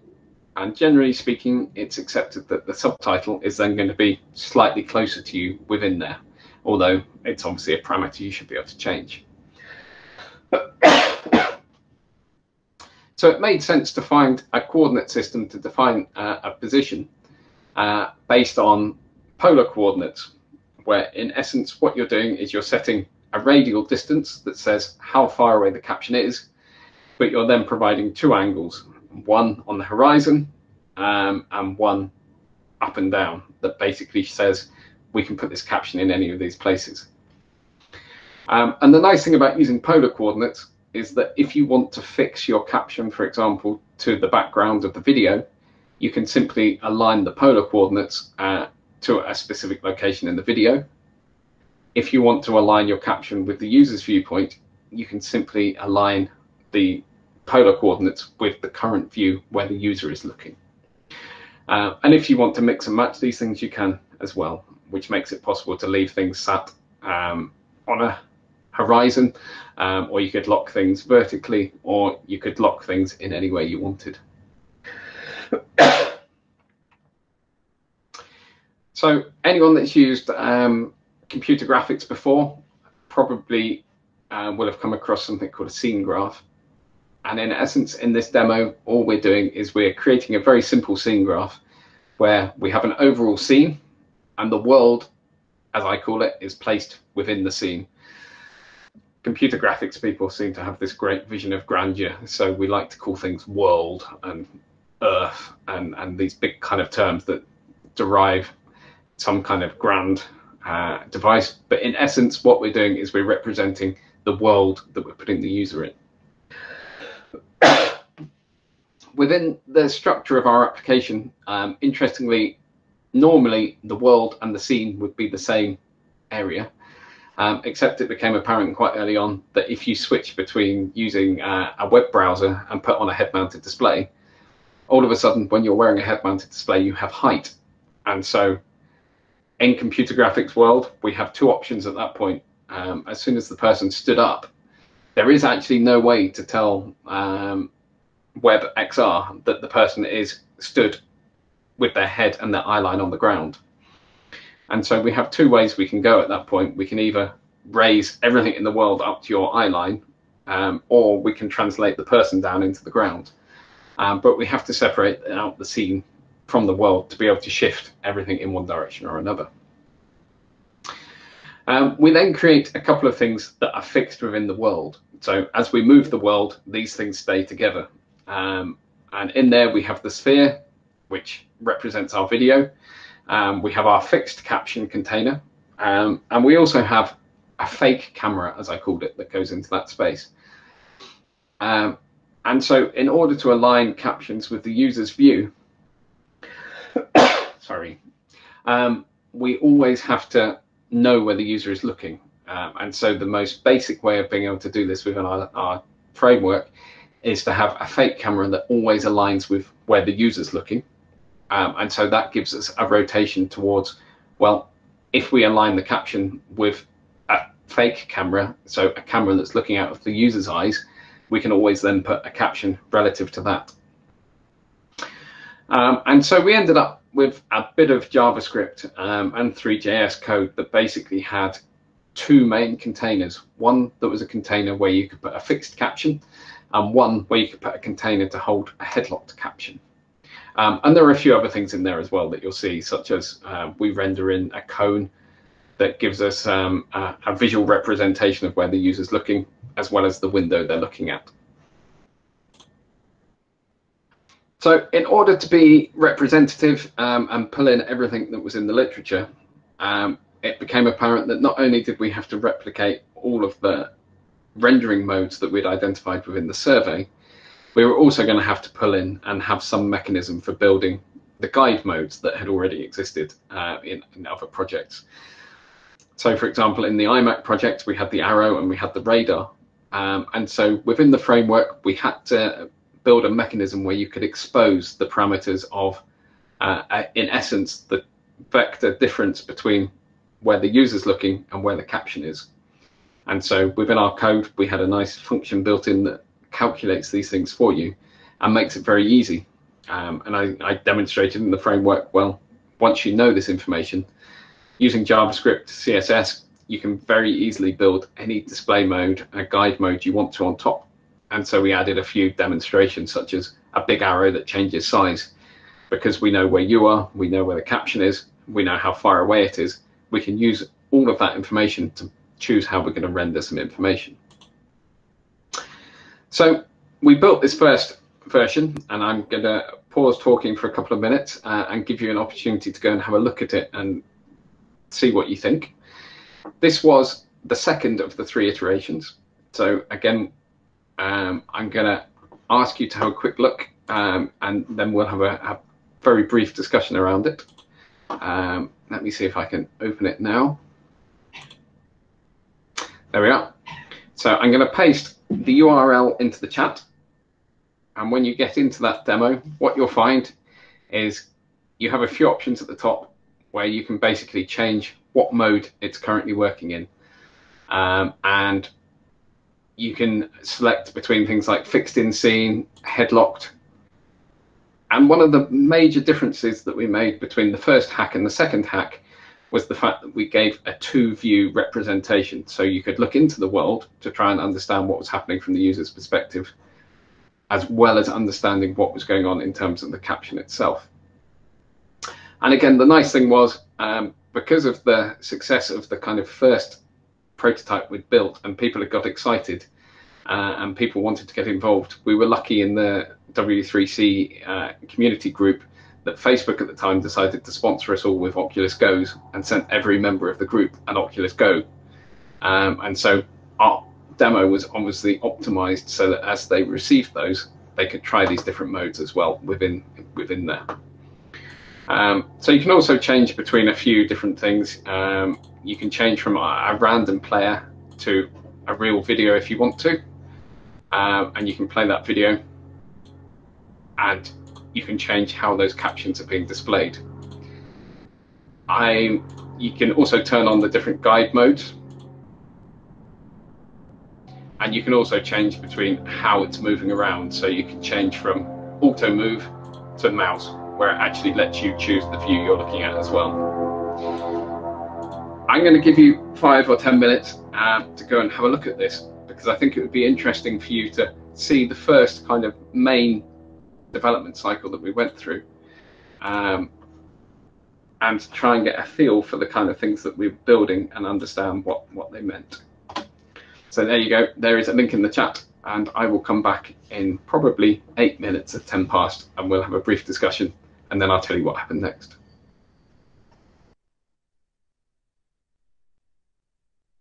Okay, well, hopefully it did work for most people. Um, hopefully you were able to kind of have a look. And again, I'm just trying to take you on a path to show the, the kind of development process we went through um, in terms of building very, very quick, hacky prototypes in order to be able to put something in people's hands that they can work with. And it comes back to my central narrative that I, I truly believe that um, it makes a massive difference in research if you can hack something together to put things out there and let people play with them. Um, and as well, build it in such a way that you can pretty much just send out a link and people can click on the buttons and work out what they mean without too much effort. But so at this point, we thought we'd pretty much cracked it. We thought we have a great platform here where because we're exposing the headlocked container, the fixed container, we can build any derivative. We can put other things in there that we want. we thought we'd had a great platform and a great solution for how we were going to uh, actually do some user tests and move things forwards.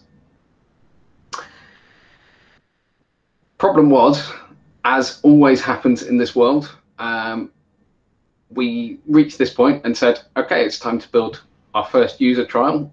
Send me a video. I'll build a caption file, and uh, we'll we'll try and understand how it works.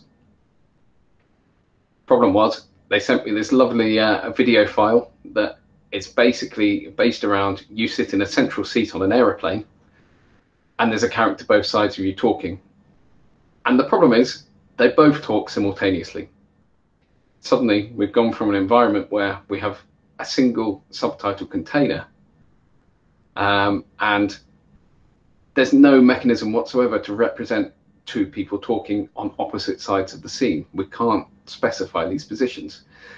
In traditional subtitles, obviously you can. There are ways to put the, the two lines at the bottom together. But if we wanted to do uh, a test where we were guiding people to the person speaking, which of these two people do you guide them to if they're both speaking at the same time? Where do you put the caption if you want to fix it in the scene? Suddenly realized that it had gone horribly wrong. There was no way I could make this work with the existing framework. so this led into a third prototype hack. Um, and this is, again, where we delve into the roots of computer graphics and we start talking about things like particle systems. Uh, I'm a big fan of this picture because it represents the first particle system that was ever used. Um, and in essence, this was a screen grab from Star Trek II, The Wrath of Khan, Khan from, I think it was 1978, so even before I was born. Um, the idea behind a particle system has been used in computer graphics for a very long time. Um, and the idea is that you can create an entity, a particle, um, you give it a position, a velocity, some other properties such as how old it is, um, how it's moving, how it's behaving, um, and then you just launch them. It becomes its own entity. You no longer have to control it or have its own environment. You basically have some kind of code that says create a new particle, put it at this place. These are the properties that apply to it. Um, and so we decided to, that this was a great approach in terms of captions because all of a sudden we needed to be able to specify lots more captions within the scene. Um, there were also further discussions that came out of the first prototype where people were telling me that actually we want the subtitles to stay for longer. We don't want them to all exist. Uh, we don't want them to play at the same time. If we have to turn around and look for them, perhaps we would like them to stay for longer. Um, and again, this breaks all the rules because in subtitling, it should be verbatim. The subtitles should be playing out in sequence along with the text. But actually, maybe there are people that want to break the rules. Maybe when we delve into the world of personalization, people do want to do things differently. Maybe they want the captions to last longer. They want them to be displayed differently. Um, we're even moving into a world where head-mounted displays have eye tracking built in. Perhaps we want the caption to actually exist until the person's looked at it and then disappear. We can do all these kind of things. And I know people are going to be looking at me funny and uh, calling me names and saying, this isn't the way to go. This breaks all the rules. This isn't how it's done. But actually, until we try it and put it in front of someone and have a working prototype, I would argue that it's very difficult to say this isn't the way to do it and that we need to do things differently. Um, and I'm very happy to be proven wrong. And I'm very happy to be proven that this doesn't work. But I'm a great believer in the fact that we have to try it to see. So we built a third hack. By this point, the code base was getting a lot bigger uh, and it was no longer kind of overnight hacks. We were talking about maybe there was two, three days that went into the development of this because all of a sudden there was a lot more going on. We needed to be able to create captions um, and then manage them. so in essence, in hack three, we did a complete rewrite of the caption rendering system. Um, and we basically built a caption emitter, a bit like the particle systems did when you're creating fire or water effects in computer graphics. And you can basically, within the code base, call a function that says create me a caption. It is headlocked. Um, it's of this mode. It's got this particular guide associated to it. um, and it will uh, exist until these conditions are met. And what this does then from a, a framework perspective is it makes it very simple um, in terms of managing those things because we have a separate manager uh, that runs in a thread in the background that looks after all of the captions in the scene. So, for example, if a caption has reached the end of its life or it's met the time code at which it's supposed to be removed, the manager will then remove that from the scene for us. Um, or if the user chooses to override the mode or put it into a different mode, um, they can simply, the manager will go through and set the mode of each of those captions for us. All of that is handled in the background. Uh, and as a developer trying to use this JavaScript framework, all we have to do is write one line of code that says, in these conditions, create a new caption here with these properties. Um, and that created a relatively nice framework for us. Um, and I'm a great believer in code of when you get to a point where all of the caption is tested, the renderer works in the background, it just sits there and does its thing. We then have an environment that we can play with and we can do more stuff on top of. So at this point as well, we extended the framework out because we had uh, there were some quite big players uh, such as Google who were interested in looking at this and doing more things with it and building demos with it. Um, and because I was a, a single kind of hacker that could turn these things around very quickly, it made sense to start packing in more features to make it more customizable. Um, and so all of a sudden we found we'd built in things like Dash adaptive streaming, um, but not just Dash, HLS as well. You could choose how you got that video file. Um, it will also allow you to load local files if you want. If you're building your own personal project, um, you can do everything from local files as well. Um, obviously, as we mentioned earlier, one of the big limitations is the fact that uh, we're talking about very, very big video files. Um, and so one solution to that is to load them locally rather than stream them off a web server. Um, but the other solutions are, of course, to use these adaptive streaming methods such as Dash and HLS. um, because the framework was based um, on the idea of being able to debug these modes, it was important to be able to completely understand the characteristics of what's going on. Um, and so we also extended the notion of being able to auto move to follow a person. So, for example, um, you can tell it that I want to animate the fake camera. So this is the camera that represents the user's view to always move towards where the latest caption is. Um, and there are a few other modes that we provide so you can make it jump to it. Um, and as we'll see later as well, we also add extra information in there, metadata that describes who's speaking at any one point. You can actually tell it to follow a person. You can tell it to follow the highest person uh, in the order or the lowest person or follow a specific person if you wish, because we have extra information that I'm going to tell you about.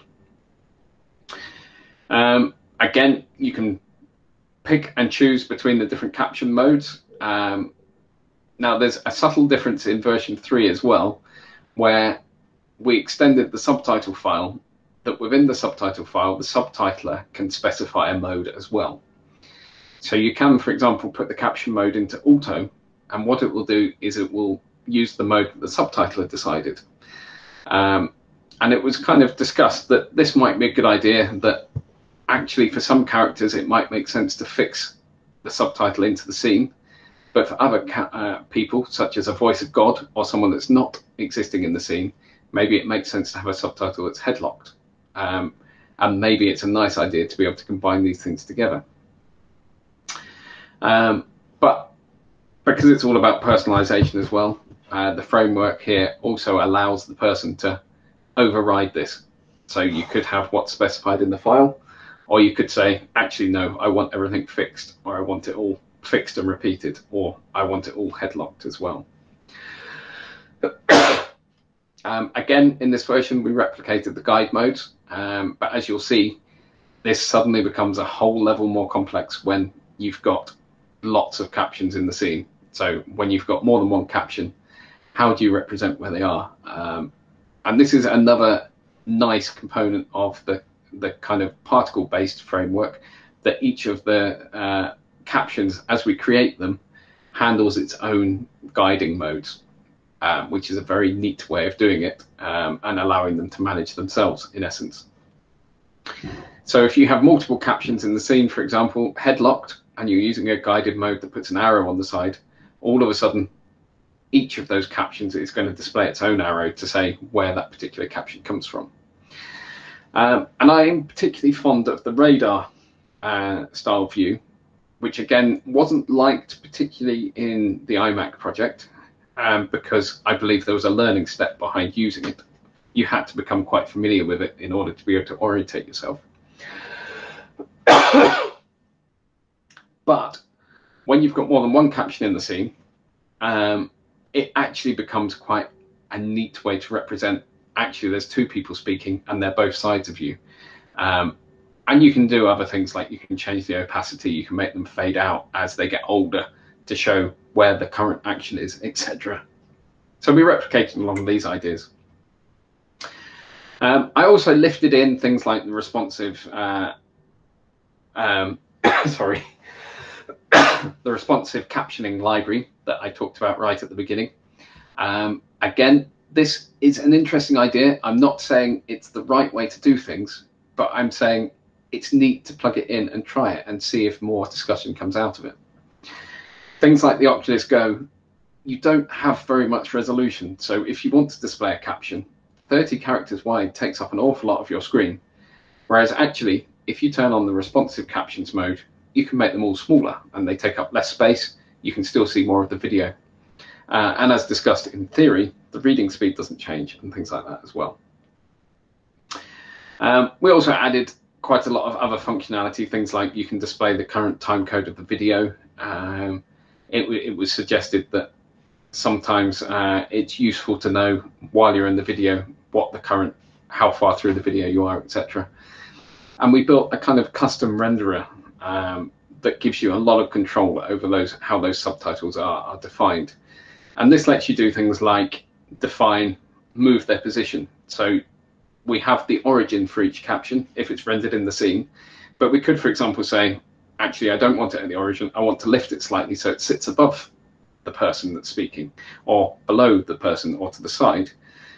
Um, and you can also change things like the depth um, in there as well. So if you wanted different captions to be displayed slightly further forwards or slightly further backwards, you can always also do those kind of things with the renderer. Got someone else coming in. Um, it's important to remember as well, I said before, most of these things can be specified within a subtitle file as well. So, for example, if the captioner wanted to do some really neat stuff with creative captioning, they can turn all of these on for you by default. Um, but you could then, as the personalization options come along, you could turn them off yourself if you didn't like it. Um, the captioner uh, Sorry, I'm just going to pour a drink before I cough in everyone's ears too many more times. So the custom renderer also does some quite neat things. Um, it leverages off existing technologies. Again, we're in a web-based environment, so it makes sense to use things like CSS to define how things are drawn. Um, and so you can simply specify uh, a small piece of CSS code um, for those of you that aren't into the web development world, CSS basically is the scripting language that defines how web pages get rendered. And it's actually a really powerful language because you can define things such as how you're going to render um, our caption within our scene. We can do everything from changing it to a, a grey box. Uh, we can change the color, the border. We can actually start drawing speech bubbles around it or however else we want to change it. Uh, it also allows us a lot of uh, customization in terms of things like fonts, font size, color, whatever we want to do with it. The uh, renderer simply has a parameter in there that says which person's speaking. So if you wanted to, for example, you could, instead of having white, yellow text, you could have the background color change. Or we also have parameters for the character name if you wanted to put the character name in the custom renderer that you're building. Um, and the custom renderer also manages things like how captions get removed from the scene. So all of a sudden, we're in a world where you could end up with hundreds of captions if you're not careful. Um, and you can specify this in three ways. You can either say a caption should exist within the time frame that it was designed to in the subtitle file. So we have a start time code and end time code. Um, and on that end time code, we'll remove it.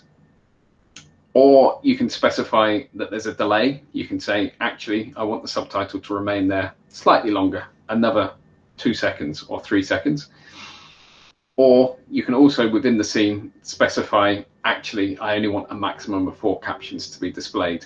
Um, and so the oldest one would get removed if the emitter tries to build a caption um, that uh, puts us over the limit for the maximum number of captions.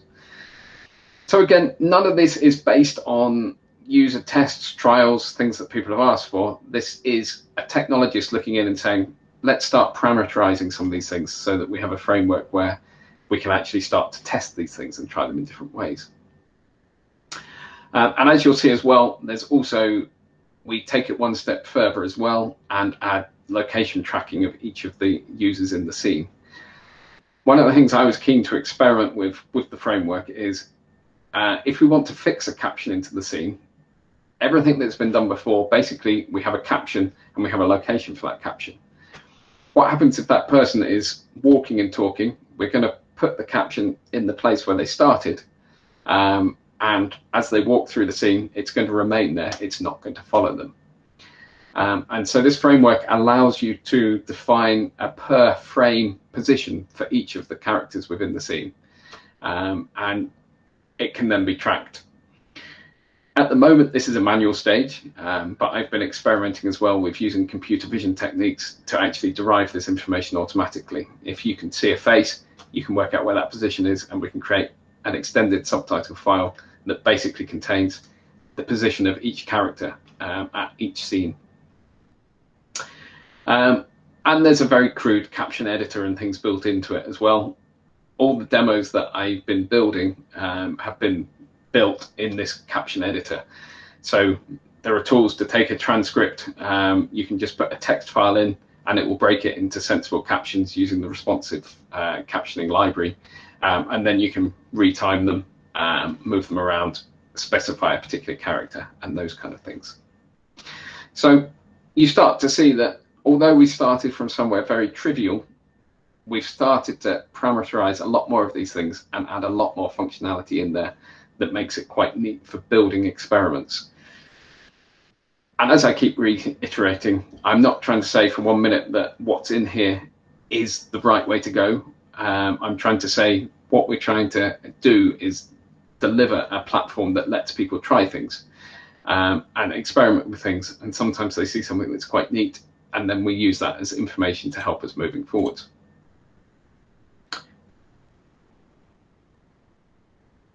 So one of the big problems we suddenly came across next, and this adds massively to the confusion, is if you want to, for example, have multiple captions in the scene, um, and you're going to have them fixed in the scene to the user that's speaking, suddenly you're going to end up with collisions and they're going to start occluding things. And so we had to build a very basic collision detection algorithm that basically says, for example, in this scene, I've told it I want to keep hold of the last four subtitles. So it's going to display four subtitles, but the person on the right um, has actually spoken and said two lines. If we just ran the code as it was, it would have put one caption over the other. And so we have to basically say the older caption, we're going to shift up to keep the text in the right order um, and make it readable. Um, and so when you have a play with this framework later, you'll see it does some quite neat things in terms of collision detection to try to avoid occluding things. Again, it's a relative hack, so it's just about finding a solution that works to show this idea so we could test it. Um, but it, it's pretty good, but you will find bugs and it does fall over at different times where it can't quite work out what to do. Remembering that our head-mounted displays are quite low resolution, if you were to have this many captions in your scene at one time, actually, it probably wouldn't be that readable, particularly when they're that close to the edge. we also experimented um, with a little bit about how stacking might work. Um, if, for example, um, a character's moving through the scene and they're talking through quite a big section of dialogue, um, and as part of the test, we've decided to keep more than one subtitle on the screen at once, um, you'll find that you end up with this kind of neat stack on the left where you're actually stacking them where they were originally speaking, but as the person moves, it gives the next caption above where they've moved to. And again, I quite like this as an approach because it gives me an indication of history of the fact that the character's been moving and speaking because I can kind of follow that flow. Um, and and for me, I think that's an interesting way to go. Um, but it was identified within the community group anecdotally that again that might be confusing. And so our caption manager has an option that you can turn on and off that restacks things and brings them back in line.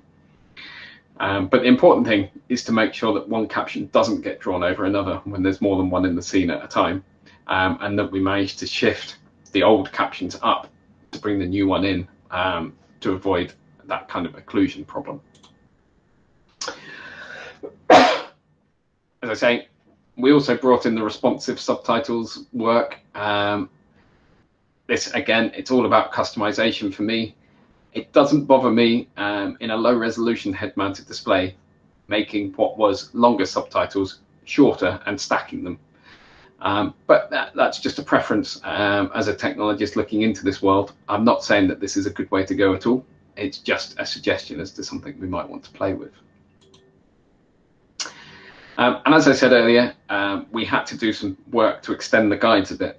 Um, so, for example, if you were to headlock all of the captions and say that you want to keep four captions in display at one time, um, you'll find that, for example, we have um, this example here where we've put arrows next to each one to indicate where the person speaking is. Um, again, this is just a first kind of projection of the existing guides as to how it might work if there's more than one caption. And I'm never really suggesting that you'd have this many captions on display at once, but you might do. It's all about choice. Um, but if you did have two captions, it would be really useful to know that there's one person from each side uh, and you know where that person is. Another approach that I quite like that I've tried and I've brought into this framework um, is the idea of justifying the subtitles. Um, so again, if the person is outside of your view, uh, to the left or right of you, we could still stack the headlocked subtitles, but we can justify them left or right to show which direction that person is, or if they're in front of you, they get moved to the middle. Um, and obviously this is all nicely dynamically animated, so as you move left to right, you'll find that as they come into the center, the subtitle picks up their position uh, and moves in as well. Um, but again, just a suggestion as to what we could do, what is potentially possible once you have all the information exposed in this kind of framework. And a particular favorite of mine is the idea of bringing the ImAc radar into a multi-caption environment um, where we might have two people speaking simultaneously and we have an indicator that represents the position where they both are. Um, and having played with it for a while and become familiar with it, it does become quite intuitive to work out actually right now I'm looking directly at these two people that are speaking, or if I was looking over here, I would know that they were directly behind me. So again, I find that a really interesting way to go. Uh, and as I mentioned, we can build CSS code in that allows us to build custom renderings. So for example, once you start combining things like the responsive subtitles library um, with a custom CSS renderer that gives us speech bubbles, we're starting to move towards a world where we have more creative subtitles going on. And I know this breaks all the rules and that it's not going to be liked very much by some people, but maybe there are some people that would like this as an option. Um, it's just about having the examples out there and being able to play.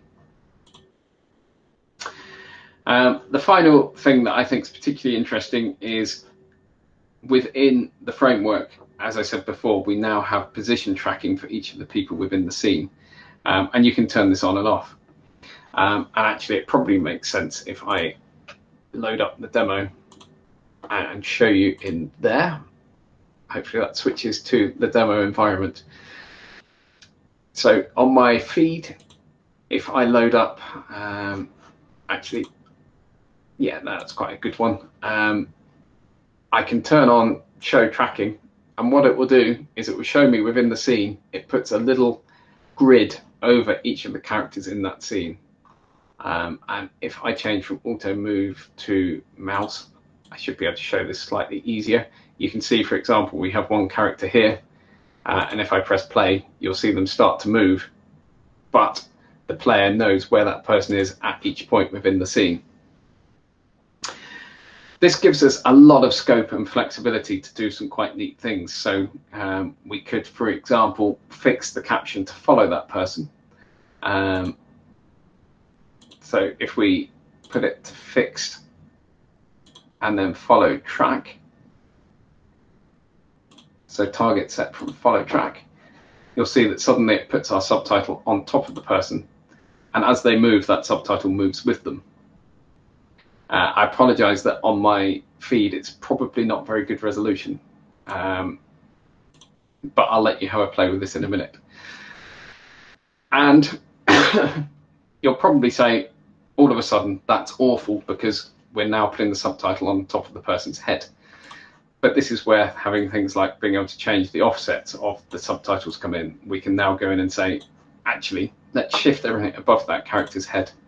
Uh, and when we turn it on, we get the subtitle moving with them. Um, and you could, for example, then use the caption renderer to say, let's have a speech bubble instead. And so we suddenly find that we have speech bubbles that move with that person. Um, and we could, for example, then put uh, realign all the old ones, and we find we have a subtitle that's going to move with the person and we can start to build up new ideas and new modes and experiment a little bit um, with new ideas. Um, in a minute, I'm going to ask you to have a play with version 3 and see what you think and have a look through. Um, you'll notice there's a completely new menu um, where you can load videos from on the server or locally. You can set how it moves. You can change things like animation speed. You can change the rendering mode. So if you wanted to just see video, um, you'll find that this is quite useful for understanding what's going on, or you can have a full screen video as well. You can change the caption mode. Um, and you'll find that as you turn these things on, they probably don't help very much to begin with. Um, you kind of have to combine things or think, well, I've tried a slightly different mode where I've put a caption aligned with someone's head, but actually I want them above. It is possible to then add those kind of additional functionalities in. You can move things around um, and try and have a play and an understanding about what maybe you can do else with the scene. Um, one of the things that I like particularly is you can do things such as tell it to follow a particular character. Again, it doesn't really fit completely with um, what we're trying to achieve here. Um, again, let's just lift the caption so they sit above him. Um, but it, it's quite a neat idea of what you can do when you've got this extra information available to you. You can start to actually uh, do a 2D projection of a 360 degree video, for example. Um, and what else you can do, who knows? I'm very interested that we have a bit of time to have a quick play and, and have a go with this. And then I'm open to any discussions as well as to what may be the next steps. Um, I'm going to ask you in a minute to have a try of version 3. Um, in fact, now is probably the time. If we have three minutes or so, uh, three minutes, eight minutes or so, I'll post the link into the chat and again, I will turn my microphone off for 10 minutes or so and let you go and have a play with this. And again, it's about building something that lets people play and explore. Um, and any of these modes, anything you build with the menu can then be turned into a test at a later point to evaluate with users. Or we can extend the code base to do other things very easily as well. So I'm going to give you uh, probably 10 minutes to have a quick play with that, and then we'll have a, a quick discussion about it, uh, and then a wrap up at the end. Right. Welcome back. So hopefully you've had a few minutes to have a look at that. Um, anyone got any thoughts? Anyone want to say anything about it? Or anyone got any thoughts about whether or not they think rapid prototyping is useful in this this way? Um, I'll go if I may. Please. um, thanks a lot. Um, I think it's it's an amazing work. Please, really, I really like it, and I really think that it's um, a new way of interpreting um, captions in, in in new environments. Uh, my doubt is, uh, do you think that it, this is suitable for all types of contents? I I have no idea um, and I'm happy to say that. Um, I think that is entirely down to the next stages, which is user testing. And um, obviously, you couldn't give the users all of these options, and it would be really inefficient to have this kind of framework as a player. Um, but maybe there are modes that you can derive from it that, for example, some of the creative captions with, with speech bubbles might be more suited to children's programs. Um, you might find um, it, it's an interesting one because 360 video itself seems to lend itself to different medias in different ways. Um, for example, watching the 10 o'clock news probably wouldn't work very well on a head mounted display. Or why would you bother when you could watch it on the television in the corner of the room with your family? Um, so I think there's a lot of work to be done to understand that all we're trying to do with this kind of framework is ask questions about, well, we could do this, so let's try this, or what else could we do? Um, but I don't know what different content works, what doesn't. Uh, that's down to the next stages, really. Yeah, and I also fully agree with um, the learning process. So um, the way we enjoy um, this immersive content, it's it's different than the way that we enjoy um, current con- TV content or linear content, if, if you want. So I think that in terms of, um, I struggled a little bit in the with the timings. So to mm. me, sometimes I didn't have enough time to read the subtitles, and it was not only in terms of segmentation, but in actual. So um, I didn't have time. Mm. Absolutely.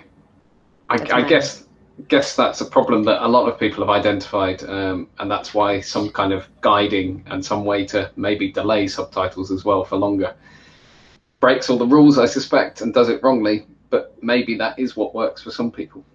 I, I don't know the answers to any of these questions, I guess, but hopefully we'll find out.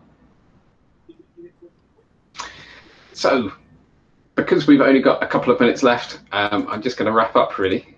Um, just to try and tie it into tomorrow's workshop as well, what's next for this project? Um, we're currently in the process of adapting uh, and porting bits of it to Unity because we now have the, the mechanism to have HTC Vive Eye Pro that has eye tracking built in. Um, you notice a lot of the video examples I use are of my kids at home, I'm afraid. Um, it comes down to this whole world of royalty free videos are very hard to get your hands on, um, particularly with good content. So you quite often will see these examples of my, my kid Oliver riding his bike around and around the camera um, just to prove that it's a 360 degree video.